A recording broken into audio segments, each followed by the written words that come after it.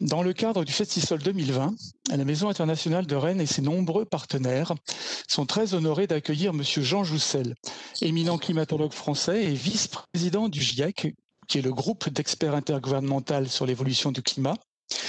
Il est prix Nobel en ce titre en 2007 avec le GIEC. Nous le remercions très vivement d'avoir répondu favorablement à notre invitation. Nous avons tous observé combien le changement climatique génère des catastrophes sur notre planète. L'homme, être vivant, doit aussi prendre soin de toutes les autres espèces vivantes, comme la flore et la faune qui nous entourent. Chaque citoyen doit prendre soin de l'environnement si nous voulons léguer notre planète en bon état à notre jeunesse, qui est déjà très sensibilisée à cette question d'importance. Rappelons-nous la mobilisation de la jeune Greta Thunberg. Nous avons écouté avec la plus grande attention M. Jean Jouzel, qui nous donnera des clés pour la sauvegarde de l'environnement et générer en nous des comportements plus responsables. Encore une fois, nous remercions M. Jean Jouzel d'avoir accepté notre invitation. Merci Rania. Eh bien donc je, reprends la parole à ce moment-là euh, en tant que moi-même, si j'ose dire. Donc le festival, qu'est-ce que c'est que le Festisol, le festival des solidarités? Eh bien c'est un festival qui a lieu chaque année fin novembre, un peu partout en France, et dont le but est de promouvoir les solidarités, en particulier la solidarité internationale. Notre collectif Festival a retenu le thème climat et inégalité et a élaboré depuis le début de l'année, pendant de longs mois, sans relâche pendant le confinement, un programme d'une trentaine d'événements. Avec l'arrivée de la seconde vague de confinement, nous nous sommes efforcés de maintenir l'essentiel afin de ne pas confiner la solidarité et parce que l'urgence climatique ne peut pas attendre. Elle est pour nous plus importante que la crise sanitaire. Cette conférence inaugurale de notre e-festisol, disons-le ainsi, avec Jean Jouzel, ouvre un cycle de conférences destinées à éclairer différents aspects du thème climat et inégalité. Le 23 novembre, nous aborderons les aspects économiques. Le 24 novembre, l'eau en crise. Le 26 novembre, ce que fait l'Europe. Le 27 novembre, la sécurité alimentaire. Les événements proposés en ligne sont accessibles, si vous le souhaitez, sur le site de la MIR, M-I-R, ou Rennes, ou en tapant Festisol dans votre moteur de recherche favori, puis en choisissant le, lieu Rennes et le type d'événement, événement en ligne. Comme ça, vous pourrez accéder à ce programme en ligne. Et si vous le souhaitez, vous inscrire aux conférences qui sont proposées. Donc j'adresse un remerciement appuyé à Eva Rouet et à l'équipe de la MIR pour son soutien tout au long de nos travaux. Et je remercie tous nos partenaires euh, pour le festival, notamment la ville de Rennes, le CRID et la coordination nationale du Festisol, le réseau Bretagne Solidaire, l'Université de Rennes 1, euh, qui est notre partenaire et dont la fac de droit est le partenaire pour cette soirée avec Monsieur Jouzel, notamment avec son master en droit de l'environnement. Et nous saluons les étudiantes et les étudiants ainsi que leurs professeurs qui nous écoutent et qui ont préparé des questions pour Jean Jouzel. Enfin, je remercie la direction Orange Grand Ouest pour notre, notre partenaire technique ce soir et en particulier, je remercie Didier qui est avec nous, autour de nous et qui nous accompagne. Et d'ailleurs, il est, bah, il est bien le seul parmi nous à être ce soir encore au boulot. Donc bon courage à toi Didier et bonne chance à nous tous. Je salue à distance le collectif Festisol de Saint-Brieuc, partenaire de la soirée, et tous les collectifs Festisol qui sont présents et qui, pour beaucoup, ont dû annuler ou reporter leurs événements. C'est le côté positif de la situation. Les frontières, le local s'effacent ce soir. Autour de Jean Jouzel, nous sommes quelques personnes. Donc Daniel avec deux L, Daniel avec un L, Bertrand et Michel, moi-même. Nous sommes des citoyens lambda, des membres du collectif Facissol de Rennes, animés par la même volonté de soutenir la solidarité. Notre rôle ce soir sera de poser les questions à Jean Jouzel, celles imaginées par le collectif, celles posées par les étudiants du master de droit environnement et celles posées par vous-même, chers, comment dois-je dire, auditrices et auditeurs euh, participant à la soirée. Donc, euh, si vous êtes invité, bien sûr, à poser vos questions à Jean Jouzel sans attendre la fin de son exposé par le chat, ou encore appelé le clavardage, comme aurait dit le regretté Julien Ray. Donc, pour poser une question par le clavardage, eh bien, beaucoup d'entre vous ont déjà trouvé la clé. Il suffit de cliquer sur la petite bulle de discussion en haut de l'écran et de saisir votre texte dans le champ dédié en utilisant le filtre pour vous adresser à tous les co-animateurs. Voilà. Euh, donc, nous avons à l'écran les, supports que Joselle va utiliser pour sa présentation. À l'issue de son intervention, qui va durer, Jean Joseph, je crois, environ une quarantaine de minutes, nous aborderons la phase de questions. Euh, notamment celles que nous avons préparées, mais également celles que vous aurez posées par le chat. J'espère qu'il y en aura beaucoup ce soir. Donc je rappelle qu'il est possible également de suivre par téléphone la conférence. Alors bien sûr, si vous êtes avec nous et que vous m'entendez, c'est pas utile, mais n'hésitez pas à suggérer aux personnes de votre entourage qui auraient des difficultés à se connecter à le faire. Il n'est pas encore trop tard. Jean Josel n'a pas encore commencé à parler. Euh, l'information est disponible en ligne sur le site de l'événement. Notre conférence est enregistrée, donc nous espérons pouvoir la proposer en replay prochainement, dans les prochains jours, sur le site de la Maison internationale de Rennes, la MIR. Donc la, conférence s'achèvera au plus tard à 19h30. Donc j'espère ne pas avoir été trop long. J'ai débordé d'une ou deux minutes apparemment. Euh, bon, je vais commencer, je vous aide par une première question, si vous le voulez bien, pour nous permettre de lancer la, la, la, la conférence et de vous présenter. Donc ma question est la suivante. Avec une cinquantaine d'années d'activité en tant que climatologue, plus de 20 ans de plaidoyer pour l'urgence climatique, des interventions auprès des institutions, des collectivités, d'industriels, la Convention citoyenne pour le climat, les instances européennes avec le pacte finance-climat, des livres, des publications, des interviews, des conférences, comme ce soir par exemple. Vous êtes un lanceur d'alerte qui, qui ne ménageait aucune peine. Alors, qu'est-ce qui fait courir Jean Jouzel? Bonsoir, bonsoir à vous tous, bonsoir euh, Michel Lévert. D'abord, quand même, permettez-moi de vous dire le plaisir que j'ai partagé cette euh, heure et demie. Alors, il nous reste combien? 1h25, Michel hein? Mais bon, voilà, vraiment, vraiment remercier euh, tous ceux et celles qui, ont, qui permettent que nous soyons ensemble ce soir. Et puis, bonsoir à, vous tous et à vous toutes qui êtes de l'autre côté de l'écran. C'est un plaisir. Voilà, donc une question de Michel Levert. Euh, non, ce qui m'a motivé dans toute ma carrière, c'est avant tout euh, euh, l'aspect plutôt recherche. Enfin, je veux dire, le point de départ de, effectivement, la prise de conscience de la réalité du réchauffement climatique, de, ce lien global entre le réchauffement climatique et et généralement tous les autres problèmes environnementaux, tout cela c'est né largement à partir, euh, à partir des, travaux de recherche auxquels été associé. Effectivement, j'ai commencé ma thèse en 1968. Vous voyez, il y a maintenant d'ailleurs, euh, j'étais à Rennes. Euh, enfin, disons, je suis à Rennes, j'étais à l'Assomption, puis à, au lycée Chateaubriand, qui était centre-ville à l'époque. Et voilà, donc, et ensuite, effectivement, j'ai un peu élargi donc au-delà de cette, euh,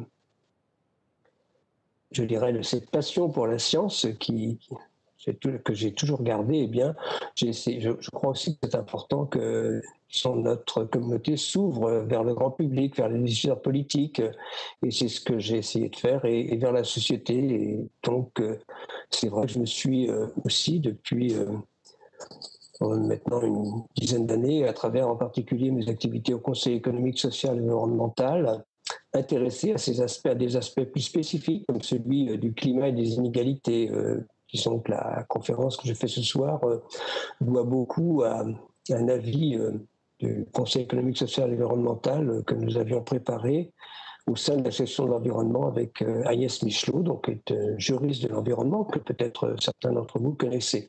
Voilà, donc c'est euh, quand même, disons, je suis avant tout un scientifique, mais j'ai essayé d'élargir, euh, bah, disons, non pas mon champ de compétences, mais mon champ d'intérêt à, tout ce qui nous entoure. Euh, et voilà, ce, problème du climat et des inégalités, j'y ai, travaillé. C'est d'ailleurs le dernier article que j'ai écrit et publié, c'est largement autour de ces problèmes. De justice climatique également. Donc, Michel, alors donc, je, donc je vais, maintenant commencer la conférence euh, assez rapidement. Donc je, crois que pour parler de climat et d'inégalité, il faut euh, d'abord redire euh, ce que l'on connaît du climat, de sa réalité. sa réalité, eh bien, se traduit d'abord par les températures que nous connaissons à la surface terrestre, les températures dans l'atmosphère, avec ce constat, que les cinq dernières années ont été les plus chaudes que nous ayons connues. Bientôt, les six dernières années, c'est très clair, avec toujours l'année record 2016 que je montre ici, et toute une série, vraiment une montée en puissance de ce réchauffement climatique, en particulier depuis, une cinquantaine d'années.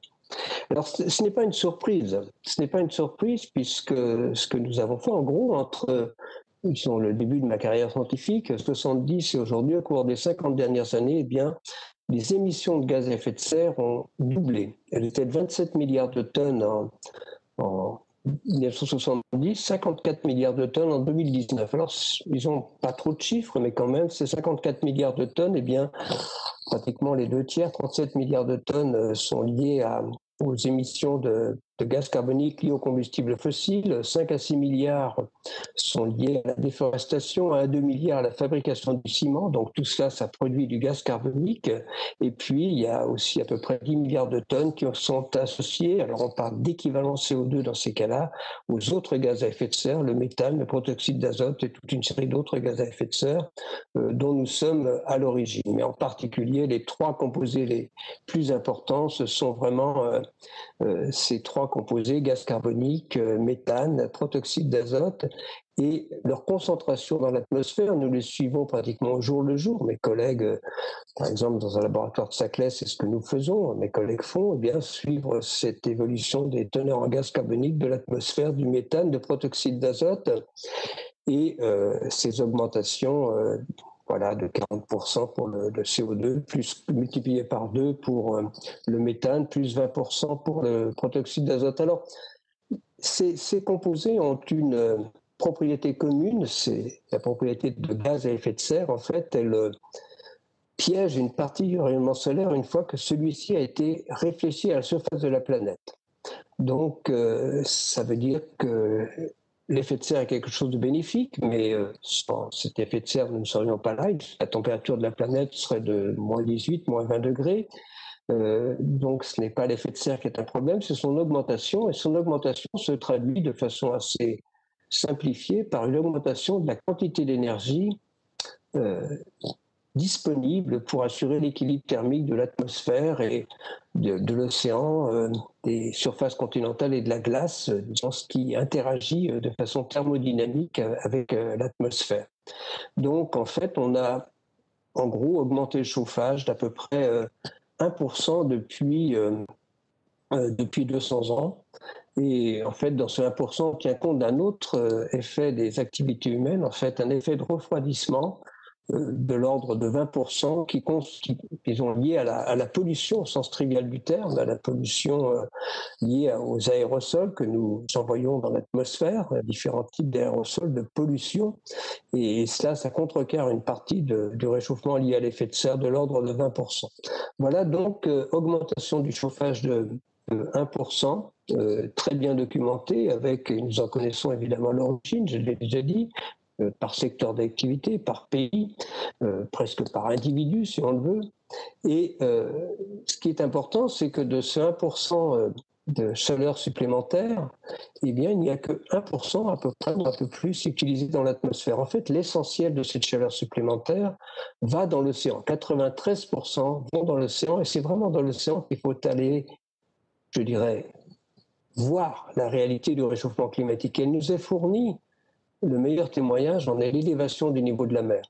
Cette élévation du niveau de la mer, elle est de 3 mm par an sur les années récentes, un peu plus maintenant. Pour un tiers, elle est liée à la dilatation de l'océan liée au réchauffement climatique. L'océan se dilate et il se, il se réchauffe et il se dilate. Et puis, pratiquement l'essentiel du reste est bien lié à la fonte des glaciers. Alors, les glaciers continentaux, bien sûr, euh, les Alpes jouent euh, très peu, mais l'Himalaya, euh, les Andes, l'Alaska, et puis depuis une vingtaine d'années, eh bien, le Groenland et l'Antarctique. Ces deux grandes calottes glaciaires auxquelles je me suis pas mal intéressé par, par mes travaux scientifiques. Nous nous sommes intéressés parce que ce sont aussi de magnifiques archives de notre climat. Eh bien, ces calottes, elles ont le défaut de contribuer à l'élévation du niveau de la mer et ça de façon de plus en plus importante. Donc, euh, en fait, nous, en gros, nous avons dans cette élévation du niveau de la mer une double indication du réchauffement, euh, le réchauffement de l'océan et la fonte des glaces. Et euh, ce sont tout cet ensemble d'éléments qui nous font, qui permettent aux spécialistes du GIEC de conclure que le réchauffement est sans équivoque et sans précédent en fait depuis au moins 2000 ans.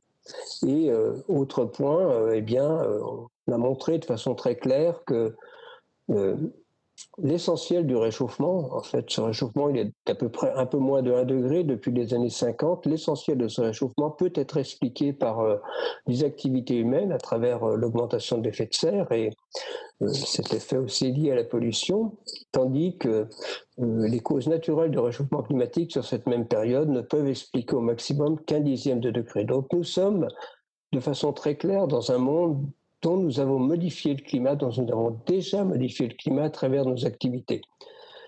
Et on peut être un peu plus précis, on a un peu de recul maintenant de, quelques décennies. Et quand on regarde les premières modélisations du climat des années 80, elles sont euh, consignées dans le premier rapport du GIEC en 1990. Eh bien, ce qui était envisagé il y a 30 ans, c'est ce que l'on vit actuellement, aussi bien en termes de rythme de réchauffement, 2 dixièmes de degré par décennie, à peu près. Hein. Et puis, euh, disons, d'amplification euh, de ce réchauffement dans la région polaire. C'était déjà le cas il y a, 50 ans, euh, il y a une trentaine d'années. On avait prévu que ça, ça continuerait, c'est le cas. C'est le cas aussi de cette élévation du niveau de la mer. Elle s'accélère et c'était tout à fait prévu. Et c'est le cas aussi de cette perception d'une intensification des, phénomènes extrêmes, des phénomènes climatiques extrêmes, euh, disons donc que l'on commence à vivre, que l'on parle de canicule, de sécheresse, d'inondation ou encore d'intensité des cyclones. Donc euh, c'est quand même euh, assez, disons, important de noter que mes collègues modélisateurs ont correctement prévu l'évolution du climat, en tout cas dans ces grandes lignes il y a une trentaine d'années, et donc, on doit leur accorder notre confiance. En tout cas, ça nous incite, ça nous invite à, accorder notre confiance à ces mêmes modélisateurs euh, quand ils nous parlent de climat que nous aurons dans une trentaine d'années et celui que nous connaîtrions euh, à échéance dans la deuxième partie de ce siècle, en particulier si rien n'était fait pour lutter contre le réchauffement climatique. Eh bien, ce seraient des réchauffements extrêmement importants euh, de l'ordre, vous voyez, euh, en fait, ça c'est une carte qui nous montre un réchauffement de 4 à 5 degrés euh, d'ici la, disons, dans la deuxième partie de ce siècle, à la fin de, ce siècle, avec un réchauffement moins important sur les océans, plus important sur les continents et, comme c'est déjà observé, deux fois plus important dans les régions de l'Arctique. Hein. cette amplification polaire se poursuivra, elle est largement liée, en partie en tout cas, ou même largement à la diminution des surfaces couvertes de glace et des surfaces enneigées. Donc, euh, il faut prendre ces projections au sérieux. Alors, il y a euh, et euh, disons que nous sommes placés ici dans le cas d'un scénario émetteur. un réchauffement de 4 à 5 degrés d'ici la fin du siècle, c'est équivalent à ce que connut notre planète depuis le dernier maximum glaciaire il y a 20 000 ans. Mais disons que ce que nous ferions à notre planète si rien n'était fait pour lutter contre le réchauffement climatique serait de 50 à 100 fois plus rapide en moyenne. Ah, ça a pris euh, presque 10 000 ans pour passer du dernier maximum glaciaire il y a 20 000 ans au début de la période actuelle il y a 12 000 ans. Donc au moins 50 fois plus rapide. Donc on voit bien, euh, et les conséquences, eh c'est que euh, eh bien, il y aurait dans tous les domaines des impacts très importants du réchauffement climatique. Alors, nous avons l'habitude de les classer, euh, là aussi c'est un graphe qui vient du cinquième rapport du GIEC, en cinq catégories. Et vous voyez, quand on regarde euh, vers quand on se tourne vers ce scénario émetteur, entre 4 et 5 degrés en moyenne d'ici la fin du siècle, eh bien, euh, voilà, quel que soit le type d'impact que nous considérons, eh bien, les, conséquences sont élevées ou très élevées. Il n'y a pas de surprise. Alors, de quoi s'agit-il? Par exemple, de l'acidification de l'océan. Euh, l'océan est, disons que nous mettons 45 euh, milliards de tonnes de CO2 chaque année dans l'atmosphère. C'est ce qu'on a mis en 2019, moins en 2020 probablement. Mais euh, il y a à peu près 10 milliards de tonnes de, CO2 qui sont absorbées dans l'océan chaque année. Euh, ou un peu plus même, mais donc c'est bien parce que ça diminue les, les ça, diminuer la quantité qui reste dans l'atmosphère. Il y a une autre partie à peu près équivalente qui est absorbée par la végétation continentale, mais c'est au dépend de l'océan. Puisque l'océan s'acidifie, l'océan est déjà 30% plus acide qu'il n'était au début du XXe siècle et à la fin de ce siècle, eh bien, en cas du scénario émetteur, il pourrait être deux fois plus acide, avec des conséquences, par exemple, sur les récifs coralliens qui seraient vraiment mis à mal avec des réchauffements de ce type. Tous les récifs coralliens tropicaux euh, seraient affectés. Donc des extrêmes climatiques, euh, j'en reparlerai un peu, qui sont déjà de, dont, on, perçoit qu'ils se modifient, qu'ils deviennent plus intenses ou plus fréquents, ça dépend du type d'événements extrêmes, et c'est caractéristique, c'est, disons, ça se poursuivrait, euh, ces événements plus intenses ou plus fréquents. Alors, on parle aussi de phénomènes irréversibles, l'élévation du niveau de la mer, euh, euh, voilà, le dégel du permafrost, et puis aussi, nous y reviendrons, donc, je crois qu'il est important de se tourner vers, disons, les, les, populations, mais aussi vers la nature. Alors, quand on regarde les populations, on va parler de, réfugiés climatiques. Euh, disons, il y a des sécheresses à répétition dans certaines régions. Euh, la sécurité alimentaire qui serait mise à mal dans, certaines régions, liées largement à des sécheresses à répétition, euh, aux ressources en eau. Donc tout cela rendrait les populations plus fragiles et aussi la sécurité au sens sécuritaire du terme. Il y a des risques de conflits supplémentaires, c'est clair, une accélération, une intensification du risque de conflits euh, liés par exemple aux ressources en eau en cas de réchauffement climatique. Alors il y a aussi des, conséquences sur la nature qui nous entoure, hein, disons que la, biodiversité, euh, eh bien, disons que le réchauffement climatique est déjà la troisième cause de perte de biodiversité et en cas de réchauffement non maîtrisé, elle pourrait devenir la première cause puisque un certain nombre d'espèces, la moitié d'espèces, euh, disons de flore ou de faune, végétale ou animale, eh bien, auraient une capacité de déplacement euh, inférieure à la vitesse de déplacement des zones climatiques à la fin du siècle. On voit bien la difficulté qu'elles auraient à, se, euh, disons, à s'adapter. donc, bien sûr, les écosystèmes seraient complètement modifiés. Il y a tous les problèmes de santé aussi pour les populations.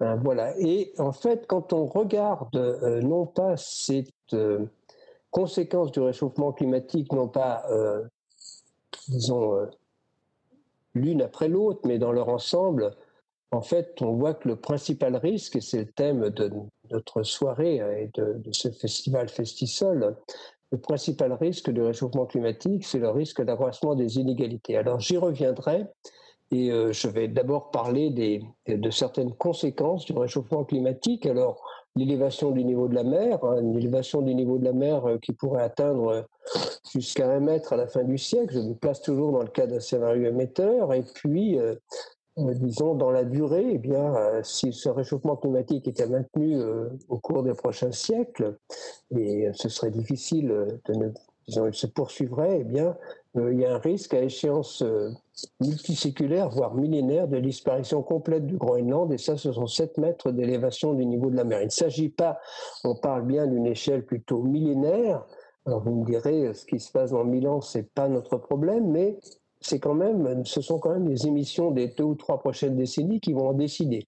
Hein, c'est nous qui décidons et euh, ensuite il sera disons, impossible d'arrêter cette élévation du niveau de la mer.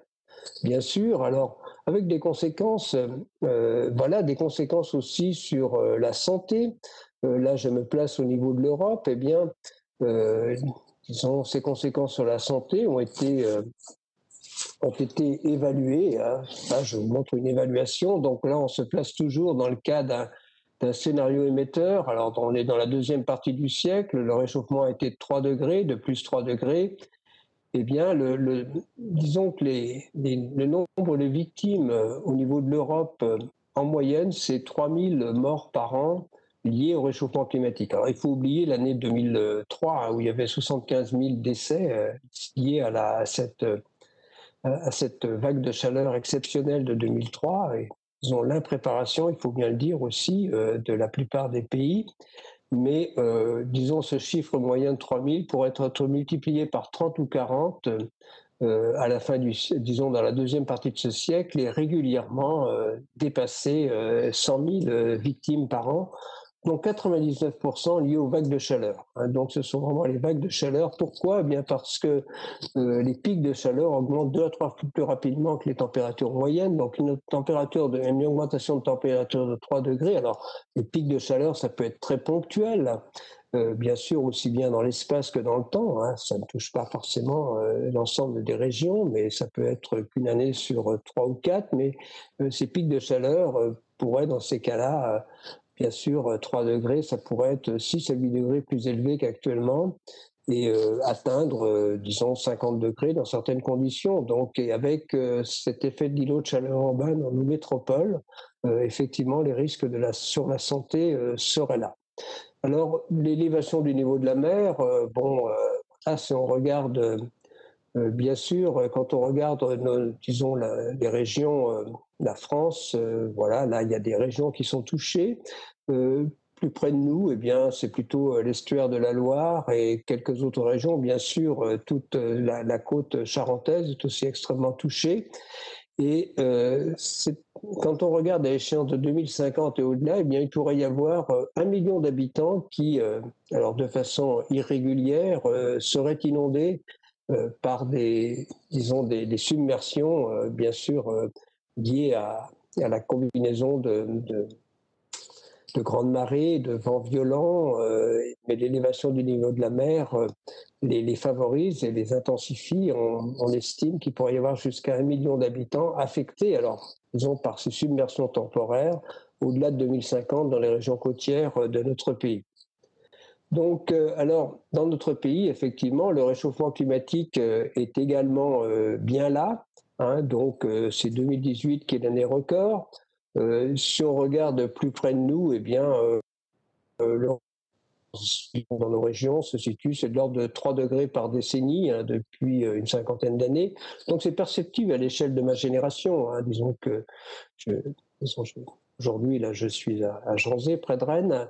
Et, donc, en fait, dans ces régions, dans nos régions, eh bien, le, disons, les hivers en particulier étaient beaucoup plus rudes il y a une cinquantaine d'années, une soixantaine d'années, quand j'avais une quinzaine d'années, euh, qu'aujourd'hui. Hein, disons qu'une différence d'un de, degré et demi, c'est quelque chose de perceptible à l'échelle d'une génération. Donc, vous voyez, c'était vrai l'hiver avec euh, ces hivers tout à fait exceptionnels, euh, exceptionnellement froids des années 60, 63. voilà, en particulier, était une année, une année très froide. Et Bon, quelques hivers encore rudes, par exemple 2009, mais euh, dans les, disons la décennie 2010, nous n'avons jamais, enfin, eu aucun hiver euh, digne de ce nom, je dirais.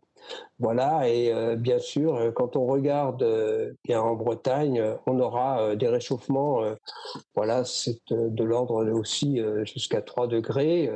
voilà, dans ce cas d'un réchauffement, d'un scénario émetteur, c'est un peu moins que, disons, on bénéficie de la proximité de l'océan peu d'évolution des précipitations annuelles en moyenne, hein, donc, mais euh, peut-être des précipitations dans, les, dans, les, variations saisonnières.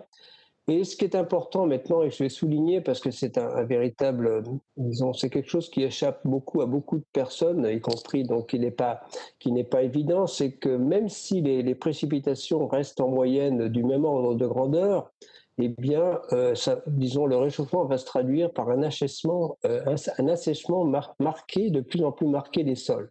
Parce que avec la température qui augmente, eh bien, il y a plus d'évaporation et c'est évidemment le bilan euh, évaporation moins précipitation, lui, va diminuer. Hein. donc, ça se traduit par exemple dans le débit des, des fleuves et des rivières.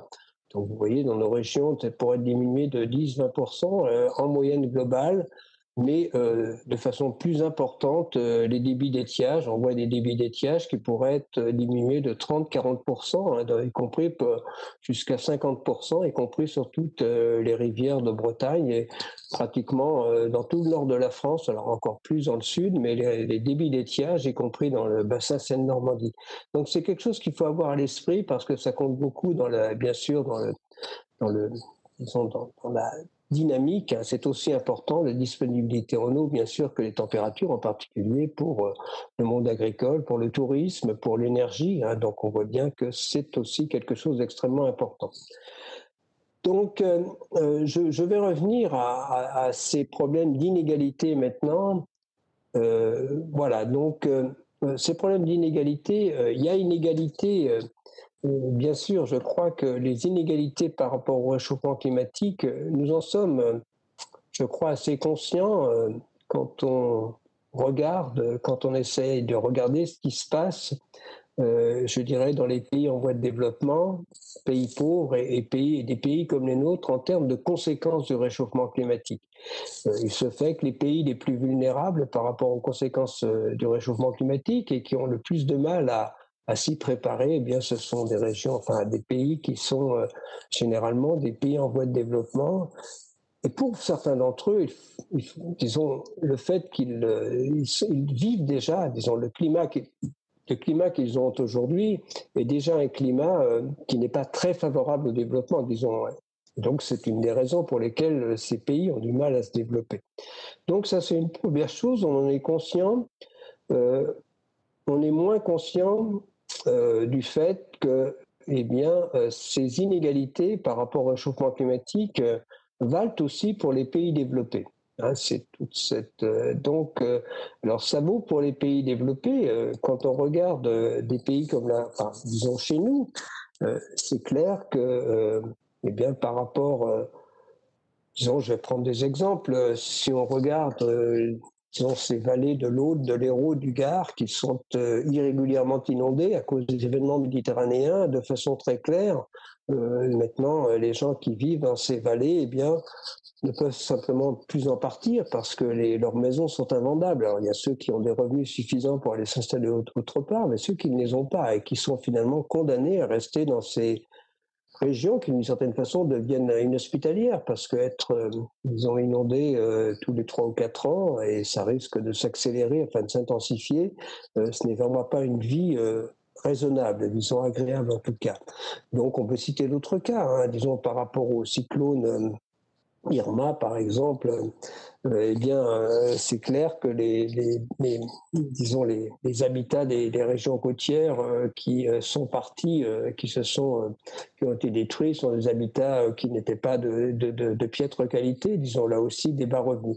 Mais il y a aussi un autre point qui est important, disons, dans ces inégalités, alors ce sont ces inégalités euh, euh, liées à, aussi à des mesures qui pourraient être prises par rapport à, la lutte contre le réchauffement climatique. J'y reviendrai.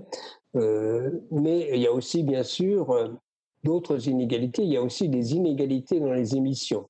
Hein, donc, je vous ai par rapport au niveau des revenus, cette fois, c'est important. Euh, voilà, disons que euh, quand on regarde, ça, c'est au niveau euh, planétaire. Hein, ce sont donc c'est le, c'est une enquête, enfin un rapport récent, en particulier d'Oxfam, donc qui dit que voilà les les 1% les, les, les, plus riches, voilà donc on voit bien que, que les les classes les plus riches euh, les 1% les plus riches, les 10% les plus riches. Donc voilà, on voit que euh, les, les, plus riches émettent, euh, disons les 10, les 1% les plus riches émettent donc 15%, donc disons de façon cumulée, hein, donc sur ont émis entre 90 et 2015 15% des émissions.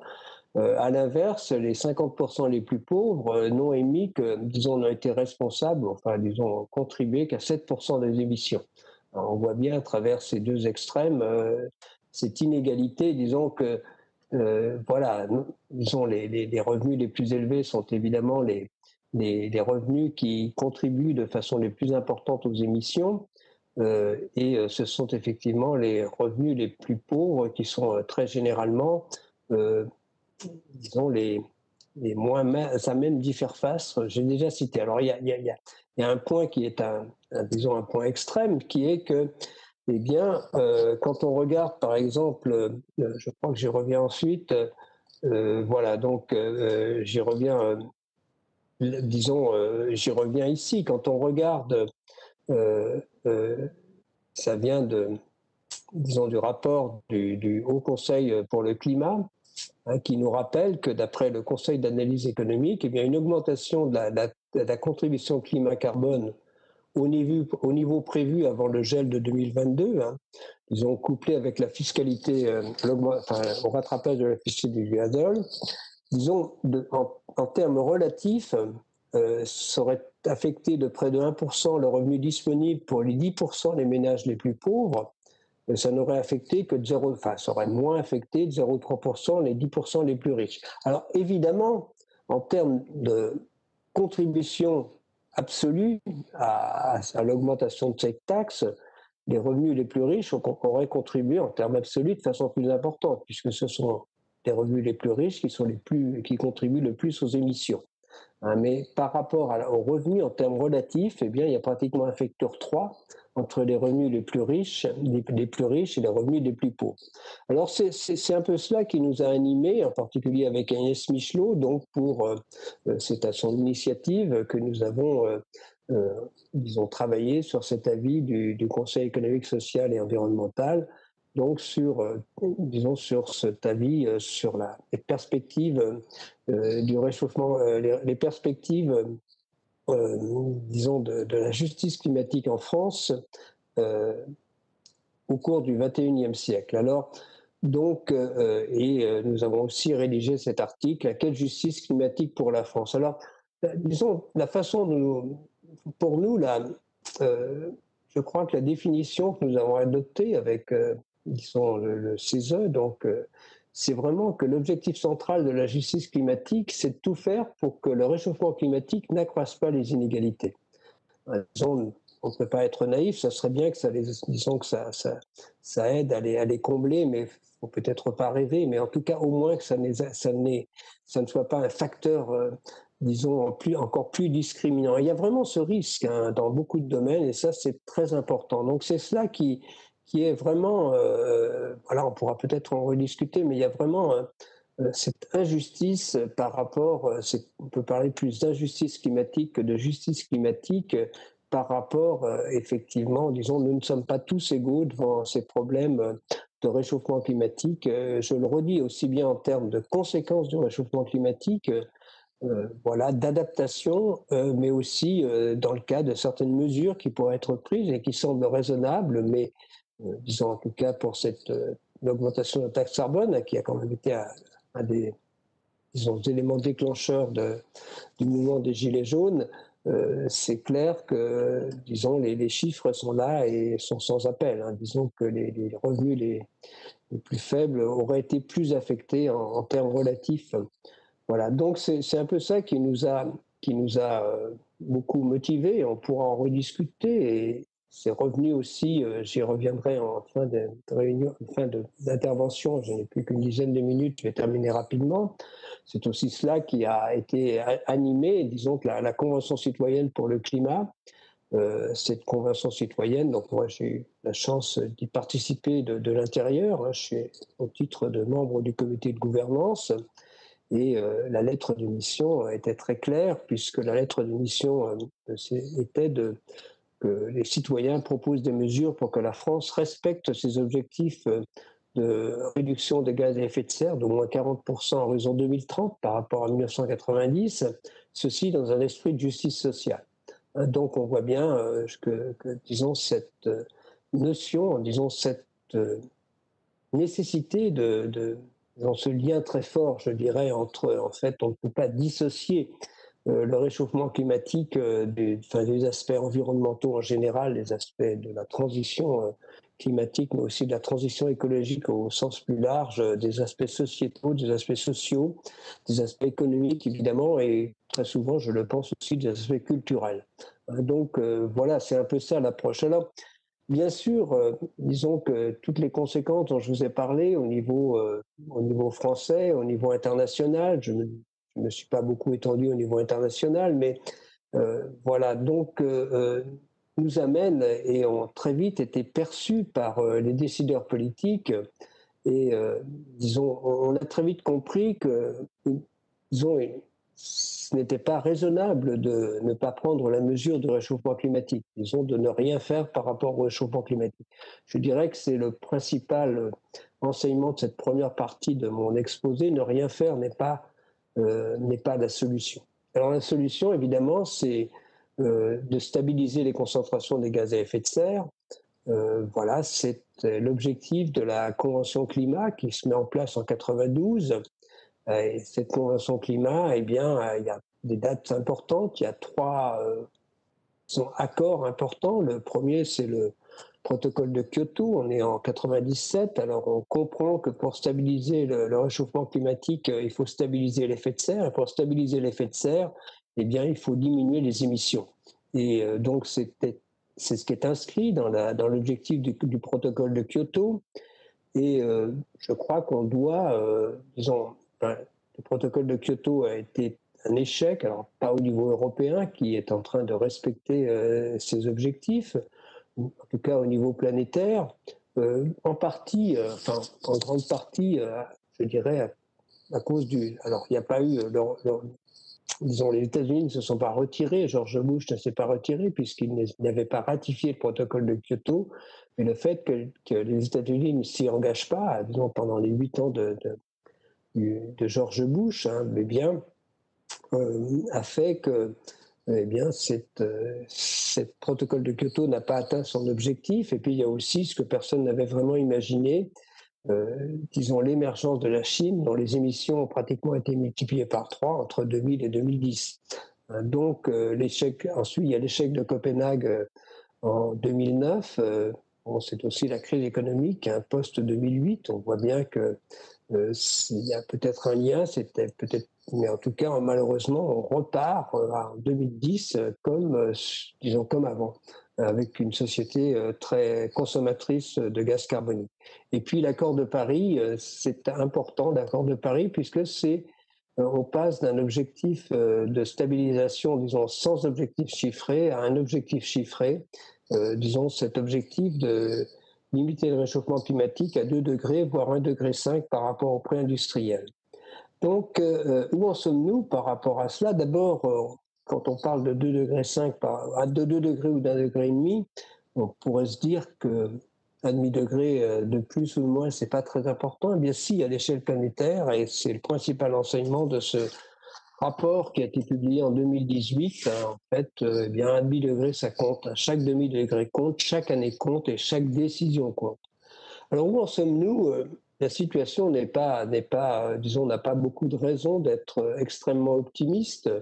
Alors, on va parler des raisons de l'être quand même. Donc, euh, en gros, nous sommes, alors l'an dernier, donc 2019, nous sommes plutôt à 54 milliards de, tonnes d'équivalent CO2. Alors, ça va baisser probablement de quelques milliards de tonnes. On sera plutôt autour de 50 milliards en 2020. Ça, c'est lié à, la diminution d'activité euh, résultant de la pandémie, évidemment, à l'échelle planétaire. Alors, si rien n'était fait pour lutter contre le réchauffement climatique, on pourrait aller vers 65-70 milliards de tonnes euh, en 2030. Et donc, vers ces réchauffements, euh, ça nous met sur des trajectoires de plus 5 degrés dans la deuxième partie de ce siècle. L'accord de Paris, euh, il y a des objectifs ambitieux, mais les engagements ne sont pas à la hauteur des objectifs, puisque, ils nous emmèneraient vers 55 euh, milliards de tonnes en 2030 et euh, nous mettraient sur une trajectoire d'au moins plus 3 degrés dans la deuxième partie de ce siècle. C'est beaucoup trop pour qu'on puisse s'y adapter, pour que les jeunes d'aujourd'hui puissent s'y adapter.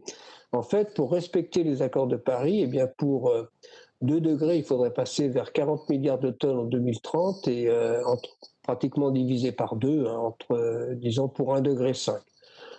Il faut bien qu'on, disons, les, par rapport aux engagements qui ont été pris, on ne sait pas encore s'ils vont être respectés. Donc, l'accord de Paris, c'est 2020-2030. Son ouverture officielle, c'est le 1er janvier 2021. Eh bien, par rapport aux engagements pris, il faudra les multiplier par trois pour avoir des chances de respecter, euh, de rester sur les trajectoires qui permettraient à long terme de rester autour de 2 degrés par 5 pour 1 degré 5. On voit bien que quand on parle d'ambition, d'augmenter l'ambition de l'accord de Paris, c'est pas à la marge, c'est vraiment le multiplier au moins par 3 hein, sur la, période 2020-2030. Et euh, on n'en a pas fini pour autant, puisque stabiliser veut dire neutralité carbone. Neutralité carbone, donc il faudrait l'atteindre en 2050 pour 1 degré 5 on pourrait se contenter de l'atteindre en 2075 ou en 2070-2080 pour 2 degrés.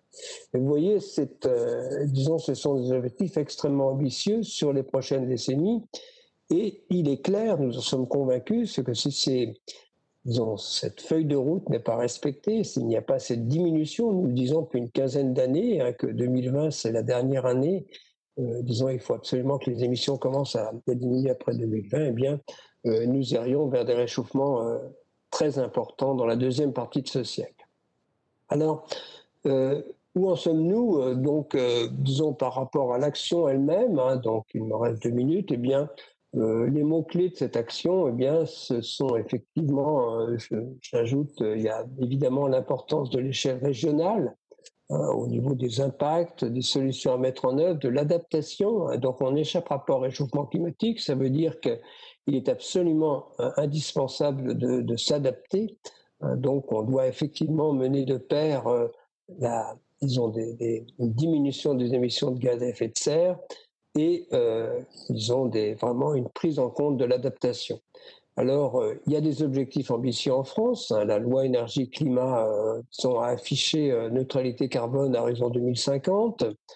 C'est très ambitieux, donc au moins 40% en 2030 et ça risque d'être plus important puisque il faut, disons, aller vers probablement moins 50%, c'est ce qu'avait affiché l'Europe. Et puis, quelques mots-clés. Donc, on peut parler évidemment euh, d'efficacité, enfin, disons les mots-clés pour atteindre, quand on regarde, donc, euh, bien sûr, euh, ces grands, disons, les grands secteurs sur lesquels nous émettons des gaz à effet de serre, les transports, la mobilité en particulier, c'est plutôt, là, ce sont les chiffres un peu, un peu, disons, anciens, je crois, de 2013, mais on est plutôt à 29% pour la mobilité, et puis ensuite, trois grands blocs sur industrie, habitat, urbanisme, et puis agriculture, alimentation autour de 20%.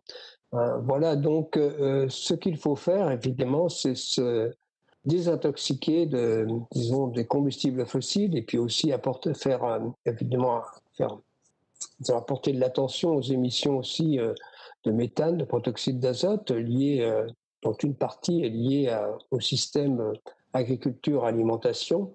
Voilà, donc par rapport à l'énergie, c'est très important, hein, cette utilisation des combustibles fossiles. Il faut évidemment de l'efficacité énergétique, Bien sûr, il y a aussi euh, un regard à porter sur le mix énergétique qui va devenir sobre euh, en carbone. Donc, euh, il y a ce débat sur le nucléaire, mais il y a aussi surtout beaucoup de potentiel du côté des énergies renouvelables. Mais on n'y arrivera pas sans sobriété. L'efficacité énergétique, c'est faire les mêmes choses avec moins d'énergie. la sobriété, c'est faire un peu attention à ce qu'on a, ce qu'on fait. Et puis, finalement, j'utilise toujours ce terme, et celui de ce soir, il y a de la solidarité. Sans solidarité euh, au niveau international, et j'espère qu'elle va se remettre en place avec l'élection de Joe Biden, mais ce n'était pas le cas depuis quatre ans, ce n'a pas été le cas euh, de, disons, largement depuis une vingtaine d'années.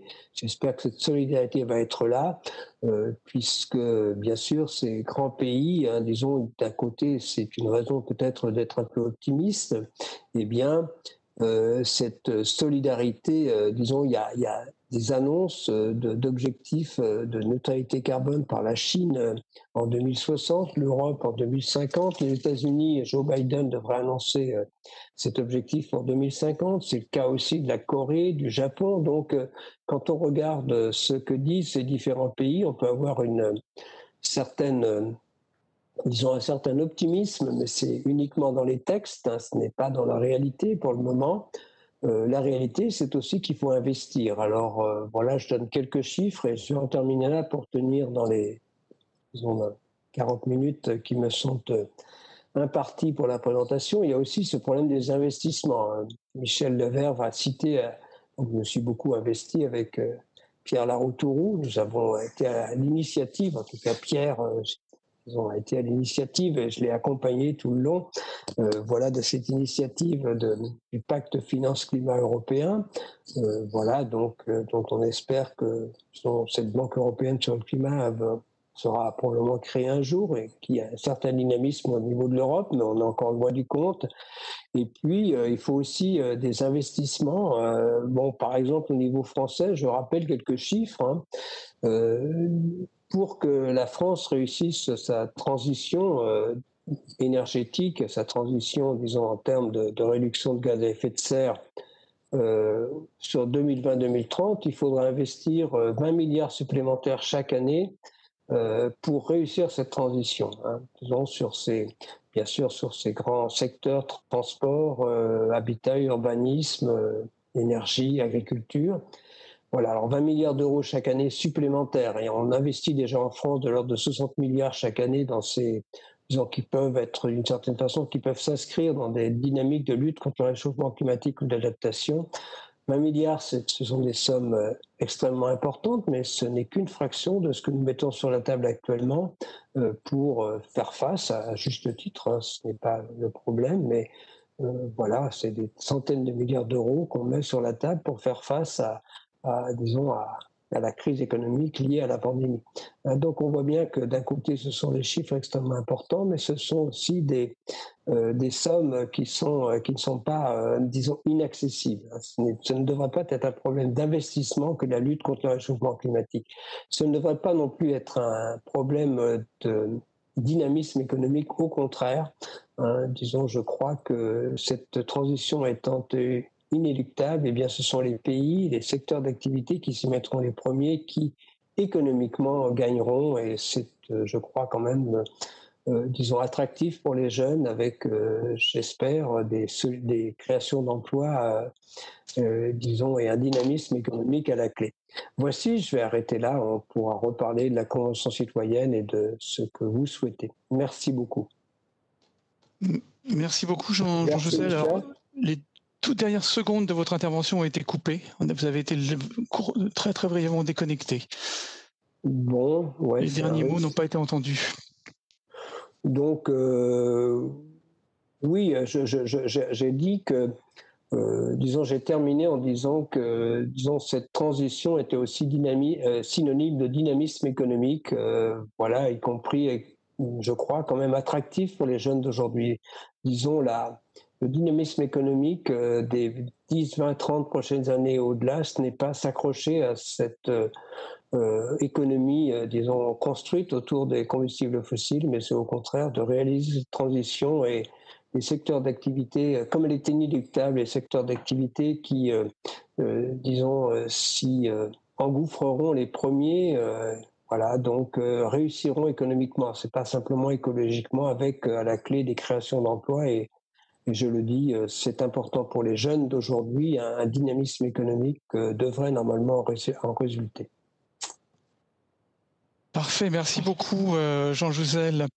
Eh bien écoutez, euh, on est euh, un tout petit peu en retard par rapport au timing prévu, mais, mais si peu, on va essayer de... Non, non, non, non, Michel, je proteste. Vous avez parlé 6 minutes et vous m'avez donné 40. ouais, ouais, mon introduction était trop longue, Jean. Ouais. Voilà, c'est ça. En attendant, nous avons énormément de questions et donc on s'était forcé de les, de les classer. Alors on, on va essayer de les reprendre en regroupant par thématique. Donc il y a des questions tout d'abord sur les réalités du climat. D'accord. Alors donc euh, j'attaque pour ne pas perdre de temps, hein, d'accord Donc première question, quel est selon vous l'impact de la destruction massive des forêts primaires en Amazonie, en République du Congo, et comment lutter contre cela? Donc euh, voilà, chaque année, euh, la, déforestation, c'est 5 à 6 milliards. Alors ça dépend d'une année sur l'autre. La déforestation, alors il y a il y a des feux de forêt, mais il y a une partie qui est volontaire, intentionnelle. En tout cas, globalement, c'est 5 à 6 milliards de tonnes euh, de, CO2 chaque année. Euh, voilà, donc euh, c'est loin, c'est de l'ordre par rapport aux émissions, ça peut être jusqu'à 15% des émissions, à des 54 milliards de tonnes. Ça varie d'une année sur l'autre, mais voilà, il faut absolument, malgré cette déforestation, la, disons, la végétation a le bon goût d'absorber, euh, d'être un puits de CO2, mais euh, ça serait encore plus efficace si on arrêtait la déforestation. Il faudra absolument l'arrêter. Euh, bien sûr, comment faire Voilà, c'est pas bon. C'est, on voit bien la difficulté auquel on fait face sur l'Amazonie, mais enfin, il faut pas toujours rejeter la pierre. Hein. Disons que, par exemple, il est clair que la déforestation de l'Amazonie est en partie une des motivations, c'est la culture du soja, euh, et on cultive aussi le soja pour euh, l'envoyer en Europe pour, euh, voilà, pour notre bétail. Donc, il y a un cercle, disons, qui, est très clairement, on ne peut pas non plus se dégager complètement de la responsabilité de ce qui se passe en Amazonie ou de ce qui se passe au Congo, ou alors pour l'huile de palme en, Malaisie, disons, ces forêts primaires. Alors évidemment, les forêts primaires bien sûr, il y a aussi ce qui est beaucoup plus, enfin tout aussi problématique, c'est la perte de biodiversité vraiment qui est là aussi extrêmement. ce sont la biodiversité exceptionnelle et il faut tout faire aussi pour limiter cette déforestation. Merci, merci beaucoup. Donc, euh, je vais poser une seconde question, donc qui porte cette fois-ci sur les, ressources vitales, avec l'exemple de l'eau. Sous l'effet du réchauffement, en 2050, un quart de la population mondiale sera soumis à un stress hydrique extrême. C'est-à-dire que dans 17 pays plus de 80% des besoins en eau ne seront pas satisfaits, principalement en Amérique centrale, au Moyen-Orient, en Inde. La France ne sera pas épargnée. Quelles seront selon vous les conséquences d'une telle pénurie en sources vitales? Pensez-vous que les pays les plus concernés, comme ceux à première vue moins concernés, s'y préparent? Oui, alors, euh, bon, euh, pour, pour, les pays moins concernés, euh, on va parler par exemple de la France. Alors, bon, c'est un point qui m'intéresse. J'ai été, enfin, j'ai présidé un conseil d'orientation sur l'adaptation au réchauffement climatique du bassin Seine-Normandie. donc ces problèmes de ressources en eau, y compris pour, pour la Bretagne et pour le nord de la. Alors évidemment, pour le pourtour méditerranéen, ça peut devenir dramatique, hein, puisqu'il y a, disons là, disons, des il y a des régions où les, précipitations diminuent et euh, l'évaporation augmente, mais même pour des régions comme les nôtres où les précipitations ne sont pas appelées à se modifier de façon importante, mais l'évaporation augmente, il est clair que, disons, il y aura moins de disponibilité euh, d'eau en surface. Donc il faut s'y préparer et euh, il faut réfléchir parce que déjà dans certaines régions, une compétition pour l'accès à l'eau qui va devenir disons peut-être plus aigus hein, entre l'agriculture, le tourisme, l'énergétique, la, consommation pour euh, humaine et pour euh, les autres usages. disons qu'il faut, euh, il y, a quand même une réflexion dans le plan national d'adaptation le changement climatique en France sur ces problèmes. Disons, ces caractéristiques de l'évolution des ressources en eau en France sont bien connues. Il y a eu des assises de l'eau récemment, sont bien connues de tous ceux qui travaillent en France, qui s'y intéressent. Pour les pays euh, euh, beaucoup plus touchés, euh, ça peut devenir dramatique. On voit bien que des pays comme l'Afrique, disons, il y a déjà, bon, le bassin du Nil, c'est voilà l'utilisation de l'eau euh, dans certaines régions va devenir source de conflits. Donc c'est pas une bonne façon de s'y préparer. La meilleure façon de s'y préparer, c'est probablement de, disons, de faire le maximum pour euh, utiliser, disons d'abord de bien appréhender ces diminutions de ressources et de les, de les diriger vers les, vers les, disons, les utilisations les, les plus importantes, qui est l'alimentation humaine et voilà, euh, donc c'est bien sûr, il y a des régions qui sont déjà défavorisées en termes d'accès à l'eau. Et malheureusement, quand on pense par exemple aux régions subsahéliennes, ce sont des régions qui risquent de, le, disons encore, d'être plus défavorisées dans, dans, 30, 40, 50 ans par rapport à cet accès à l'eau. Donc là, c'est un véritable problème. Alors merci beaucoup. Alors j'ai une question donc euh, ou presque deux questions en fait qui traitent un peu de la même chose. Plusieurs questions on va dire sur la démographie. Euh, de, Marie-Françoise Roy, de Gilles Tourol et de Serge et, d'autres. Est-ce que l'augmentation non maîtrisée de la population humaine joue un rôle dans le réchauffement climatique euh, ou encore quelle part de l'augmentation de la population humaine et de l'élevage dans l'augmentation de la production de CO2 oui, alors ce sont deux questions. Alors la, démographie, oui, euh, disons le textuellement, j'ai pas le texte exact, mais le, disons le, rapport du GIEC dit clairement que l'augmentation de la population est le premier facteur de l'augmentation des émissions de gaz à effet de serre. C'est écrit euh, noir sur blanc dans le rapport du GIEC. C'est vraiment le premier facteur. Alors ensuite, euh, si on regarde vers euh, l'avenir, il est évident que, euh, je pense, c'est important, disons, par rapport au réchauffement climatique et par rapport à la sécurité alimentaire. Hein, il faut on peut revenir sur ces problèmes de ressources dans certains pays. Euh, je crois que notre humanité a ont intérêt à, à, une maîtrise de la, de la démographie. Euh, cependant, c'est important, donc euh, je dirais, à horizon 2050, c'est peut-être plus facile de faire face à un réchauffement climatique euh, à 9, 9 millions d'habitants qu'à 10 ou 11. Mais je, ne place pas la démographie, sur le dessus du panier en termes de lutte contre le réchauffement climatique. C'est vraiment le comportement des, populations, notre comportement global qui est le plus important. Je, je, dirais de façon assez simple que, eh bien, même si nous avions, euh, si nous avions une population euh, sur cette planète de 2 milliards d'habitants, mais que si ces 2 milliards d'habitants se, se, comportaient en termes d'émissions d'effet de serre comme un Américain d'aujourd'hui, eh bien, nous irions dans le mur en termes de réchauffement climatique. Hein, donc, euh, euh, il ne s'agit pas, disons, bien sûr, la, démographie est quelque chose d'important. Euh, disons, pour moi, c'est bien sûr qu'il faut la maîtriser pour beaucoup de raisons, mais c'est aussi notre comportement collectif qui est la clé de la lutte contre le réchauffement climatique. Voilà, donc par rapport à l'alimentation, donc oui, ça, euh, en termes, disons, l'agriculture, euh, plutôt, c'est 11, 12, 13% au niveau planétaire.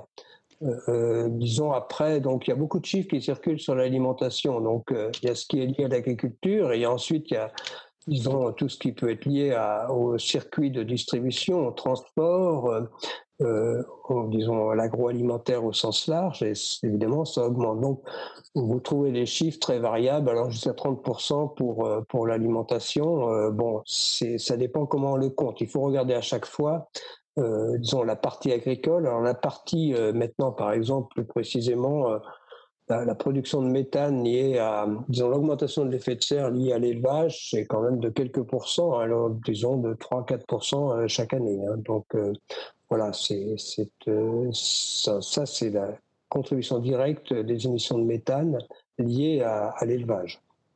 Voilà.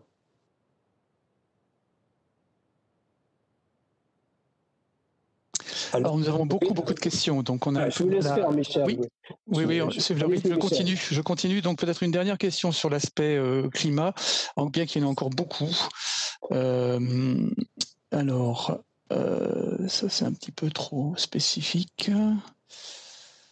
Ah oui, voilà. Bon.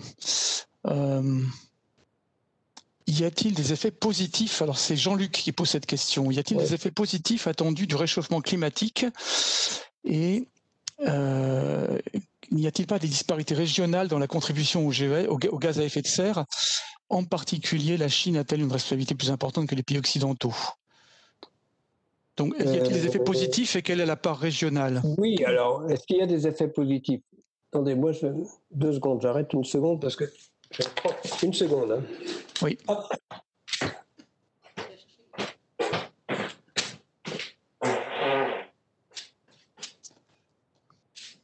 Oui, juste, juste pour meubler un instant oui, d'espace. Nous sommes en train d'essayer de trier les questions qui sont nombreuses et extrêmement intéressantes. Je pense qu'il va falloir qu'on réfléchisse à faire une compilation de ces questions euh, pour pouvoir euh, les adresser à Jean Jouzel s'il oui. peut répondre euh, au-delà bon, du temps qu'on s'est imparti. Oui, tout à fait. Non, c'est moi. Donc, euh, euh, oui, je, je, suis dans une pièce où il n'y a pas de chauffage. Donc, j'ai mis un peu. Vous voyez. Euh, donc, où on en était là? Donc, oui, la question redite. Donc la, la question, euh, on va s'en tenir peut-être à, à, la première partie. Y a-t-il des effets positifs attendus du réchauffement climatique? Oui, bien sûr qu'il y, y, y, a des effets positifs, euh, mais euh, qui sont trompeurs.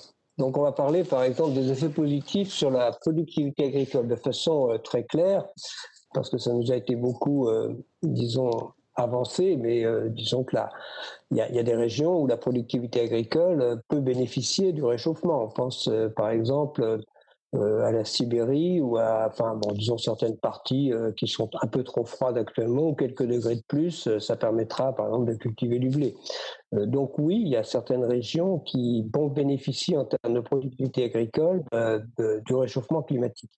Mais quand on regarde à l'échelle planétaire, eh bien effectivement, ils ont le réchauffement climatique en termes de productivité agricole globale. Il y a les régions qui, il y a les régions qui euh, qui effectivement, euh, disons, où la productivité augmente, euh, et puis, mais il y a aussi des régions où la productivité diminue. Alors, disons qu'au cours de la prochaine décennie, eh bien, elle s'équilibre à peu près. Hein, quand on regarde les grandes, disons, les, le blé, le maïs, le soja, voilà, le riz, hein, les principales cultures sur lesquelles nous nous construisons collectivement. Mais à partir de, disons, à mesure que le réchauffement se met en place, eh bien, les régions qui perdent en productivité, en particulier les régions tropicales, eh bien, euh, prennent le pas sur les régions qui gagnent. Donc la productivité agricole, toute chose égale par ailleurs, euh, va être euh, négativement impactée si on regarde à l'échelle planétaire. Localement, ça peut ne pas être le cas. Hein. C'est un élément de réponse, mais il n'y a pas vraiment Bon, alors certains voient par exemple dans l'ouverture du passage du Nord-Ouest, euh, enfin les passages Nord-Ouest du Nord-Ouest, euh, disons des, des, des, impacts positifs parce que ça permet le passage de l'ouverture de nouvelles routes maritimes, mais on y voit aussi un, aspect négatif avec euh, l'exploitation de nouvelles ressources, par exemple de pétrole qui ne sont pas ou de gaz qui ne sont pas forcément bienvenus. Donc voilà, donc globalement, euh, disons que ces effets positifs ne, représentent pas grand-chose à l'échelle planétaire. Globalement, à l'échelle planétaire, c'est vraiment un effet, euh, des effets négatifs très importants qui sont, euh, qui seront, qui accompagneront le réchauffement climatique. Merci. Alors, Jean Joussel, puis-je vous juste vous suggérer d'arrêter le partage d'écran, ce qui nous permettra de, enfin vous voir ah, à l'écran. Mais là, il faut que je mette mes lunettes, là. Hop, you are sharing. Stop sharing. Hop. Ah ben voilà. Voilà, donc je Voilà. Ah. Parfait, merci beaucoup. Donc, euh, je vais passer la parole à. Alors voilà, on a classé les questions par thématique. On va aborder maintenant la, la, thématique un peu économique. Et donc, c'est, je vais passer la parole à Daniel avec deux L, qui va donc me permettre de souffler un petit peu de mon côté et de me concentrer sur les autres questions. On se retrouve un peu plus tard, Jean. Et je suis aussi le timekeeper, donc euh, il y a beaucoup de questions sur l'aspect économique. Donc on va essayer d'être assez rapide. Ouais, le temps nécessaire. Et puis, on, a d'autres thèmes qui sont un peu moins servis, donc on va, on va gagner du temps plus tard. À toi, Daniel, si tu veux bien prendre la parole. Oui, bonsoir, vous m'entendez? Oui, oui, très bien pour moi, plus moins. Oui, bonsoir, monsieur Jouzel et tout le monde. Donc, voici quelques questions que nous avions un peu préparées sur euh, les questions économie et climat. Il y a eu beaucoup de questions aussi en ce sens et bien d'autres sur le chat, donc j'en pose quelques-unes. Que pensez-vous de l'énergie nucléaire? Est-elle une option énergétique d'avenir ou de transition? Avec ces dangers et questions non résolues, est-elle un moindre mal par rapport aux catastrophes climatiques annoncées? Donc euh, oui, j'ai effectivement une bon j'ai j'ai été euh, rapporteur de la loi sur la transition énergétique euh, en 2015 et disons, comme rapporteur de cette loi, nous avions, au titre du CESE, euh, nous, avions euh, exprimé l'idée que disons, cette loi était équilibrée hein, dans ce débat entre le nucléaire et puis euh, les énergies renouvelables. disons, elle est équilibrée parce que, bon, disons, cet objectif de diminuer la part de, du nucléaire dans le, euh, dans le mix énergétique français est la seule façon de permettre, euh, bien sûr il y a aussi des problèmes de coût, euh, d'acceptabilité aussi du renouvelable dans certains cas, pour, voilà, mais c'est la seule façon de permettre, disons, le, le développement du renouvelable. Hein, c'est très clair. Donc, je, pense que la loi est équilibrée. Euh, je doute que la France puisse complètement se passer du nucléaire d'ici 2050. Euh, mais bon, voilà. Mais ce qu'il faut, évidemment, c'est euh, un véritable développement, me semble-t-il, des énergies renouvelables qui disons, qui marquent le pas. les questions que je me pose par rapport aux renouvelables et, que je regrette, hein, c'est très clair, c'est par exemple comment se fait-il que eh bien, au niveau de l'Europe, il, y a entre 3 et 4 000 euh, éoliennes euh, en mer. En France, il n'y en a pas encore une qui fonctionne ou qui soit reliée au réseau, je crois. Hein, donc, on peut se poser des questions. Donc, effectivement, euh, il y, a, aussi, enfin, il y, a, un potentiel dans le renouvelable qu'il faut absolument exploiter et développer. parce que à l'échelle planétaire, eh bien, c'est le renouvelable qui est probablement, enfin certainement, si on veut arriver à lutter contre le réchauffement climatique, l'arme principale. Merci pour votre réponse. Il y a eu des questions en ce sens et en, particulier effectivement sur euh, l'éolien en mer. Donc, Une autre question autour de l'économie numérique, hein, quand même l'économie euh, du siècle. Là, euh, beaucoup de, en ce moment, beaucoup d'organisations de, conférences en ligne, notamment celle-ci, sur le réchauffement climatique. que pensez-vous? Est une bonne chose d'organiser toutes ces conférences en ligne? Donc là, oui, ben, bon, je, dirais, dans, tout ce qu'on fait, il faut évaluer, il faut évaluer, je, enfin, vu notre, enfin, de mon point de vue, il faut évaluer effectivement les, si ça contribue ou non à l'augmentation de l'effet de serre. C'est peut-être pas facile de le faire dans le cadre de notre conférence. On peut, on peut voilà, donc euh, ce qui est clair, c'est que le numérique contribue, pour le moment, euh, on parle de 3% aux émissions de gaz à effet de serre, et, euh, c'est quand même un facteur en rapide augmentation. Hein. Il y a eu beaucoup de questions, disons, posées sur la 5G, sa pertinence.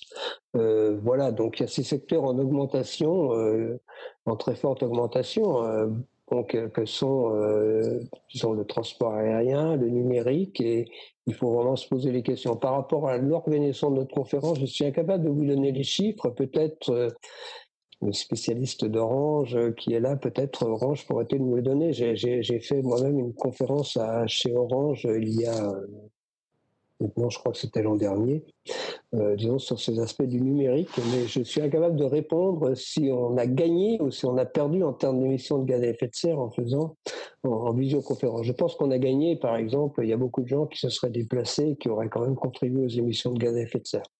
Voilà, mais c'est dur de faire un bilan comme ça sans, sans éléments autres que cela. Non, non, mais c'était c'était pas une colle, hein, c'était plutôt une question en, général sur bah, euh, l'impact du numérique. Hein. Bien sûr, c'est important.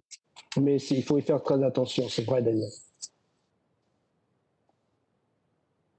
Alors, contre, contre toute attente, avec les mesures de confinement hein, pendant la crise Covid-19, l'humanité a montré qu'il est possible de freiner la machine économique mondiale pour le plus grand bien de la vie sur Terre. On a vu que la vie sauvage a pu reprendre ses droits, en Chine, l'air était devenu respirable. Quels enseignements tirez-vous de la crise sanitaire actuelle? Oui, il y, a, trois points en termes d'environnement qu'on peut regarder. Celui que vous avez mentionné euh, sur la nature, sur, euh, sur, ce qui nous entoure, euh, c'est clair que la pollution a diminué dans les villes. Euh, voilà, il y a aussi euh, la pollution sonore. Hein. C'était beaucoup moins bruyant en termes de confinement. Hein, c'est loin d'être négligeable. Ça dépend où vous vivez, évidemment, où vit, chacun d'entre nous vit. Mais la pollution sonore, la pollution donc liée, dans le sens trivial du terme, voilà, donc il y a moins de pollution. Mais et en termes de gaz à effet de serre, donc ce donc nous intéresse. Donc on a les chiffres quand même pour ça va être une diminution de de 5 à 6% euh, on devrait être autour de 50 milliards de tonnes euh, d'équivalent CO2 en 2020. Euh, l'enseignement, c'est quand même que la seule réduction de l'activité n'est pas la voie à suivre, n'est pas une suffisante pour respecter les objectifs de diminution des gaz à effet de serre.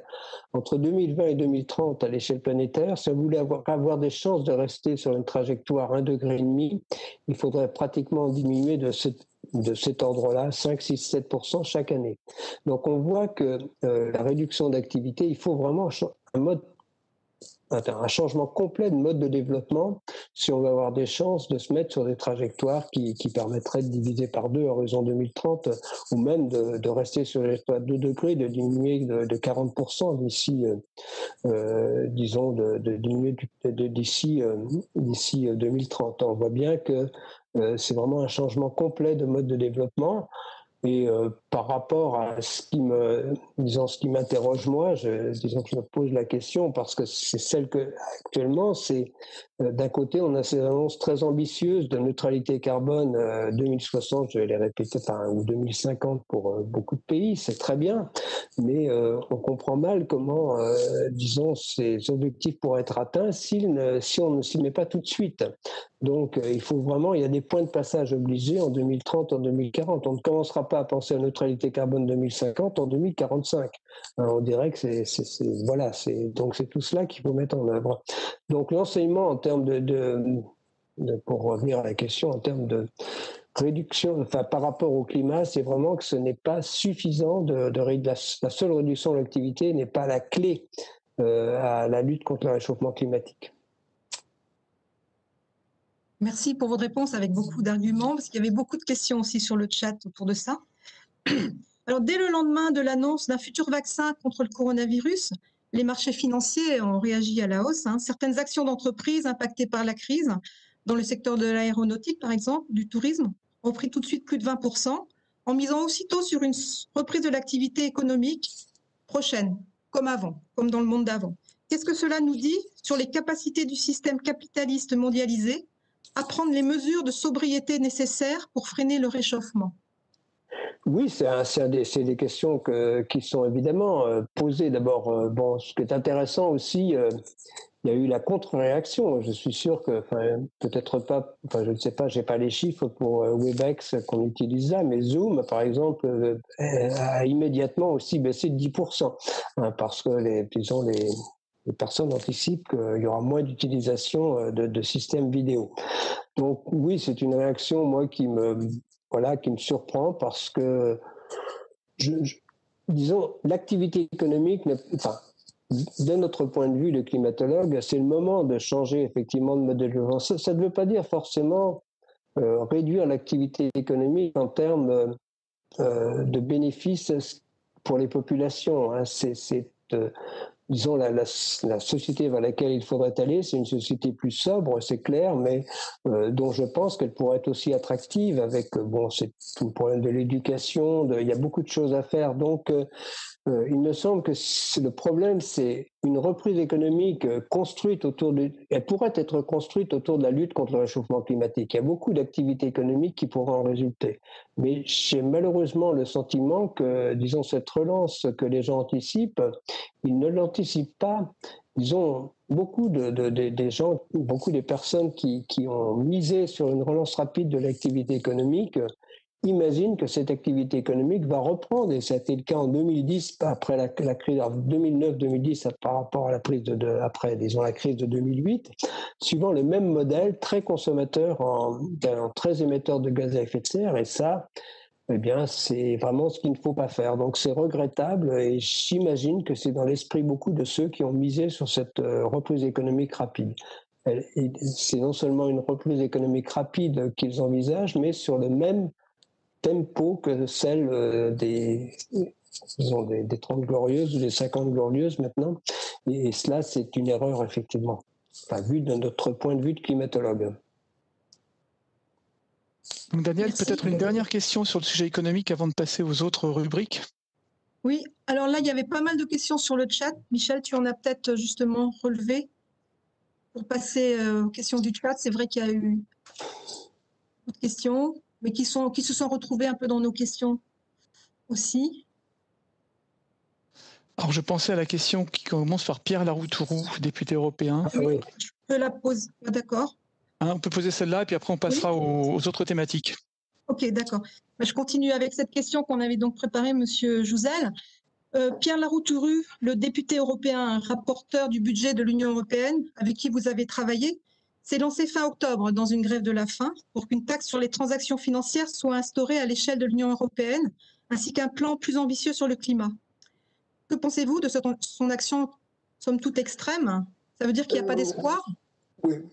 Euh, alors sur l'action elle-même, euh, oui, je sais pas. Bon, j'espère qu'il y aura une, écoute euh, sur, bah, disons d'abord sur l'objectif lui-même. Il faut quand même bien donner les chiffres, et c'est important. Au niveau européen, euh, donc j'ai dit euh, au, niveau de, la France, c'est 20 milliards supplémentaires chaque année qu'il faudrait pour réussir cette transition. Au niveau européen, c'est plutôt entre 250 et 300 milliards.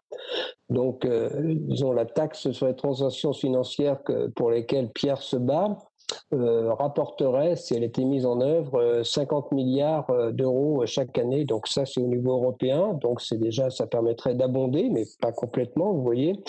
Donc je pense qu'il faut absolument dégager des, effectivement des, des ressources pour réussir cette transition. Euh, disons, on ne peut pas. Non, il y a besoin d'investissements supplémentaires, c'est-à-dire créatrices d'activités. Ce sont des, investissements créateurs d'emplois. Donc, euh, je comprends très bien la, démarche de Pierre. Je sais l'urgence et, je la partage l'urgence de cette transition. Euh, donc, avec la création d'une banque européenne sur le climat, avec cette dynamique. Bon, Pierre, alors hier, c'était son donc 19e jour de, de, de grève. Bon, il y a Bon, ça tombe peut-être pas forcément très bien du point de vue, euh, euh, disons, euh, visibilité médiatique, mais il y a, bon, disons, le, je ne sais pas s'il tiendra jusque-là, peut-être pas, mais c'est pas bon la question. Et je crois qu'il y a déjà une écoute au niveau européen. Je crois que c'est le 1er décembre que, ce nouveau budget européen sera discuté. Donc, c'est, mais voilà, bon, moi je pense que c'est absolument, et je partage avec Pierre cette idée, qu'il faut absolument dégager des, des, ressources. On en avait parlé dans des ressources pour euh, dédier vraiment à la lutte contre le réchauffement climatique et plus généralement la transition écologique au sens large, c'est très clair. Merci. Merci, merci Jean Jouzel, merci Daniel avec deux L. Et maintenant, Daniel va perdre un L. C'est mm. donc euh, une autre Daniel qui va poser des questions sur les thèmes qui sont les accords internationaux et la solidarité. Oui, bonsoir Monsieur Jouzel. Bonsoir. Euh, nous avons deux questions qui se, qui se regroupent. Alors Anaïs euh, pose la question, pensez-vous qu'il soit possible de concilier le développement des pays les plus pauvres et la limitation du réchauffement climatique? Et je vais enchaîner donc sur un peut-être le résultat d'une étude qui a été faite, euh, qui a été diffusée ces jours-ci. Je sais que vous êtes très attaché à la solidarité Nord-Sud. Euh, donc, il y a une étude d'une ONG euh, qui porte sur le 10 ans d'aide de, la France aux pays euh, en voie de développement qui démontrerait que 10-12% du budget qui est octroyé pour les projets aidant l'Afrique, 12% des projets sont affectés sur une transition agroécologique, tandis qu'à peu près le double est alloué à des projets soutenant un modèle agro-industriel. Alors, quand vous parlez de, la solidarité Nord-Sud, euh, quels sont les axes pour venir en aide euh, aux pays euh, en voie de développement Bon, donc c'est très clairement, c'est la clé. Donc, d'abord, si on revient à l'accord climat, à l'accord de Paris, bien sûr, c'était vraiment une, la ligne rouge de ces pays en voie de développement c'est-à-dire que les pays développés ont promis mettre sur la table 100 euh, milliards d'euros chaque année, 100 milliards de dollars hein, dans l'accord de Paris, euh, chaque année à disposition des pays en voie de développement pour assurer leur développement bien sûr, si possible, vertueux en termes de lutte contre le réchauffement d'émissions de, gaz à effet de serre. Donc c'est inscrit, euh, inscrit dans le dans l'accord de Paris.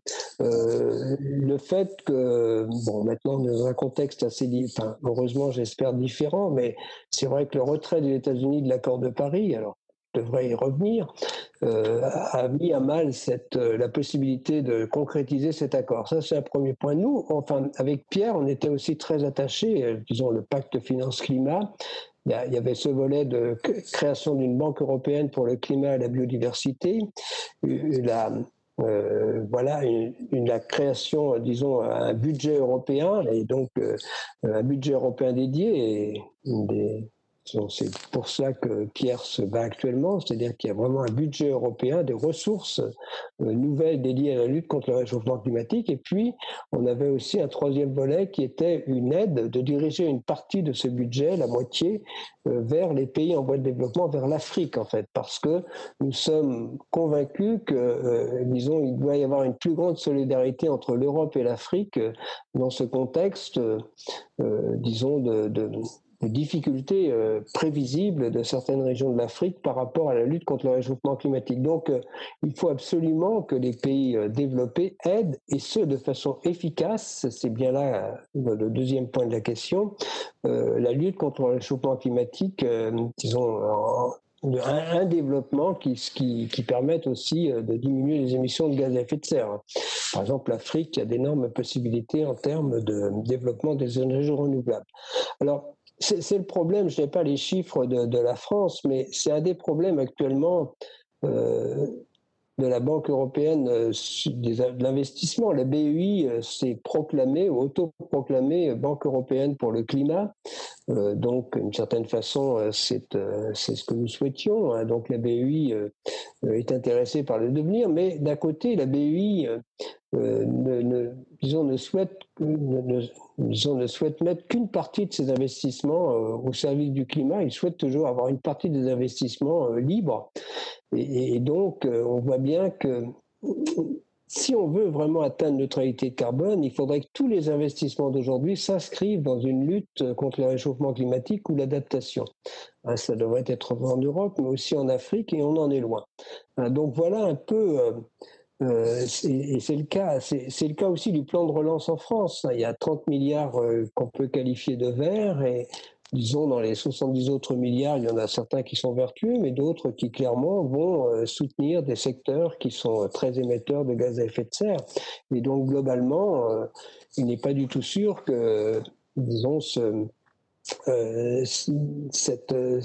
plan de sortie de crise euh, soit nous mettre sur une trajectoire euh, compatible avec les engagements de la France. Hein, c'est pas du tout certain. Euh, voilà, donc à chaque fois, et c'est vrai aussi par rapport aux pays en voie de développement, il faudra vraiment que les aides, en tout cas de notre point de vue, s'inscrivent dans cette lutte contre le réchauffement climatique, mais aussi, bon, bien sûr, en termes d'agriculture, en termes d'agroécologie, et tout cela est très important. La sécurité alimentaire de ces pays est aussi au cœur de leur développement. Merci. Euh, des botanistes proposent de recréer une forêt primaire en Europe. Alors c'est une belle proposition transgénérationnelle, euh, sachant qu'a priori les premiers impacts ne se feront sentir que peut-être dans 400 ans. Euh, quel est votre, avis sur un tel bah, projet, une proposition? Je ne suis pas spécialiste du domaine, mais bon, c'est un une belle idée quand même. C'est un beau projet. Bon, moi, juste à côté d'où je suis, là, il y a, disons, un paysan, enfin, bon, des, pays, enfin, des agriculteurs qui ont, euh, disons, planté, euh, c'est pas une forêt primaire, mais des hectares de chênes euh, en se disant, on sait bien que ça sera là dans 30, dans, plutôt dans, dans 4-5 générations, mais c'est maintenant qu'on veut, doit les planter si on veut que, disons, aller au 23e siècle, eh bien, il y, a, il y a des beaux chênes dans cette région. Donc ça, je pense que cette idée de euh, cette idée euh, transgénérationnelle est très importante et alors je ne connais pas le détail, mais bon, euh, c'est plutôt intéressant, me semble-t-il, de, se projeter à échéance de, séculaire parce que c'est bien là que les, effets de, ce que nous faisons aujourd'hui se feront ressentir et donc en termes de climat également. Et donc c'est bien aussi qu'il y ait des aspects bénéfiques comme cette idée de recréer une forêt primaire dans nos régions.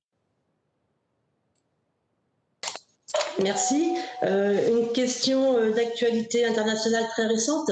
Monsieur Joe Biden euh, le nouveau, a été élu nouveau président des États-Unis ou le, sera. selon vous, est-ce une bonne nouvelle pour le climat? Oui, c'est clair, c'est clair parce que bon, ça sera pas si simple pour lui, mais bon, il a clairement dans son programme électoral et ça reste une annonce très, disons, très quasiment certaine, euh, dès le lendemain de son élection, il a dit qu'il euh, réinscrirait les États-Unis dans l'accord de Paris. Il est allé plus loin, puisque, euh, donc ça c'est un premier point, et aussi il a annoncé l'objectif de neutralité carbone pour les États-Unis en horizon 2050. Il faut bien voir que cette neutralité carbone, elle est, la Chine l'a compris. Hein, donc, elle, disons, elle l'a compris, et donc le, fait que cette neutralité carbone soit, sera un moteur de développement économique. Hein.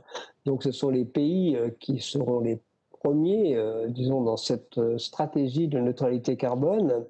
Il y a beaucoup de développements économiques, à, disons, qui, sont, qui peuvent s'y inscrire, qui gagneront économiquement. Je l'ai dit et redit. Et disons, la Chine annonçant neutralité carbone, les États-Unis ne peuvent pas ne pas le faire. Et donc, euh, il y, a, cette dynamique positive qui était celle après l'accord de Paris, avant l'élection de, Donald Trump, euh, qui peut se remettre en route, mais on a quand même perdu quatre ans.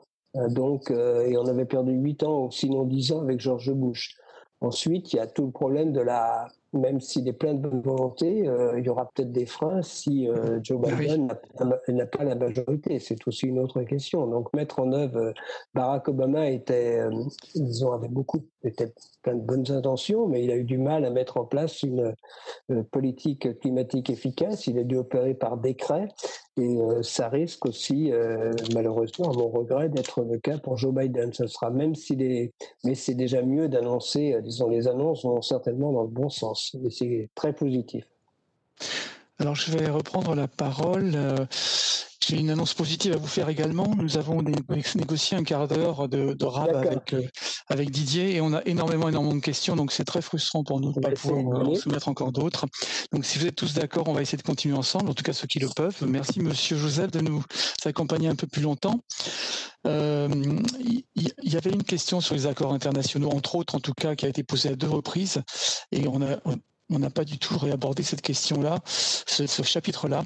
C'est une question tout simplement sur les objectifs de développement durable à l'horizon 2030, en lien avec les accords de Paris.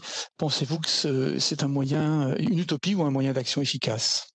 Donc, oui, bien sûr, pour rappeler que, bon, là, on peut parler de l'accord de Paris, du climat, mais si on regarde les problèmes environnementaux euh, au sens le plus large, euh, disons que le credo, ce sont les, ces 17 objectifs du développement durable. Alors, quand on regarde, donc, qui sont beaucoup plus larges, hein, la, pauvreté, euh, bon, bien sûr, et qui sont extrêmement ambitieux et extrêmement pertinents. Hein. Bien sûr, ces objectifs de développement durable sont, je crois, indispensables qu'ils soient respectés si on veut un développement harmonieux de nos sociétés. On, peut, on, peut, on peut voir quand même que dans beaucoup de ces développements, je crois dans 6 ou 7, il y a quand même, euh, disons, le climat, euh, il joue un rôle important. Globalement, euh, c'est très clair pour moi, le, problème du réchauffement climatique, on ne peut pas le dissocier des autres problèmes environnementaux parce qu'il il, a tendance à les exacerber. Donc c'est très clair, je l'ai dit pour je, l'ai dit bien sûr pour euh, la perte de biodiversité. Disons, un réchauffement important accélérera la perte de biodiversité. Euh, c'est plus difficile de faire face à la pollution euh, dans, disons, quand il y a des, vagues de chaleur importantes. bien sûr, la sécurité alimentaire est, beaucoup plus difficile à assurer si dans des pays, s'il y a des, des, pays, enfin dans des régions où il y aura moins de précipitations et ainsi de suite. Donc, euh, euh, ce qu'il ne faut pas faire, c'est prendre ces, disons, ces objectifs un par un et dire on va. On peut pas, par exemple, régler la pauvreté dans le monde en ignorant le problème de la biodiversité, de la, du réchauffement climatique, ou d'ailleurs de la biodiversité également. Mais voilà, donc euh, c'est un ensemble la lutte contre le réchauffement climatique n'en est qu'un des éléments. Hein, c'est vraiment cette transition au sens large qui est importante, qui est inscrite dans ces objectifs des Nations Unies. Mais euh, ce qu'il ne faut surtout pas faire par rapport à ce dont on discute aujourd'hui, euh, c'est dire euh, on va, disons, on va attendre un peu pour traiter le problème du réchauffement climatique et euh, on, regardera, les autres après. Et c'est un peu ce qui se passe actuellement. On n'y peut rien. Quand Emmanuel Macron, dans son discours, parle de temporalité, hein, on voit bien ce que ça veut dire. En gros, on va attendre pour le réchauffement climatique, on va d'abord parler d'emploi, on va d'abord parler d'autre chose. Donc euh, voilà, c'est un peu le problème. On repousse toujours euh, la lutte contre le réchauffement climatique à l'année prochaine. Hein. Donc c'est toujours un peu décevant. Donc c'est surtout ce qu'il ne faut pas faire. Il faut vraiment prendre ces problèmes dans leur ensemble et disons, euh, les attaquer, euh, non pas les dissocier les uns des autres.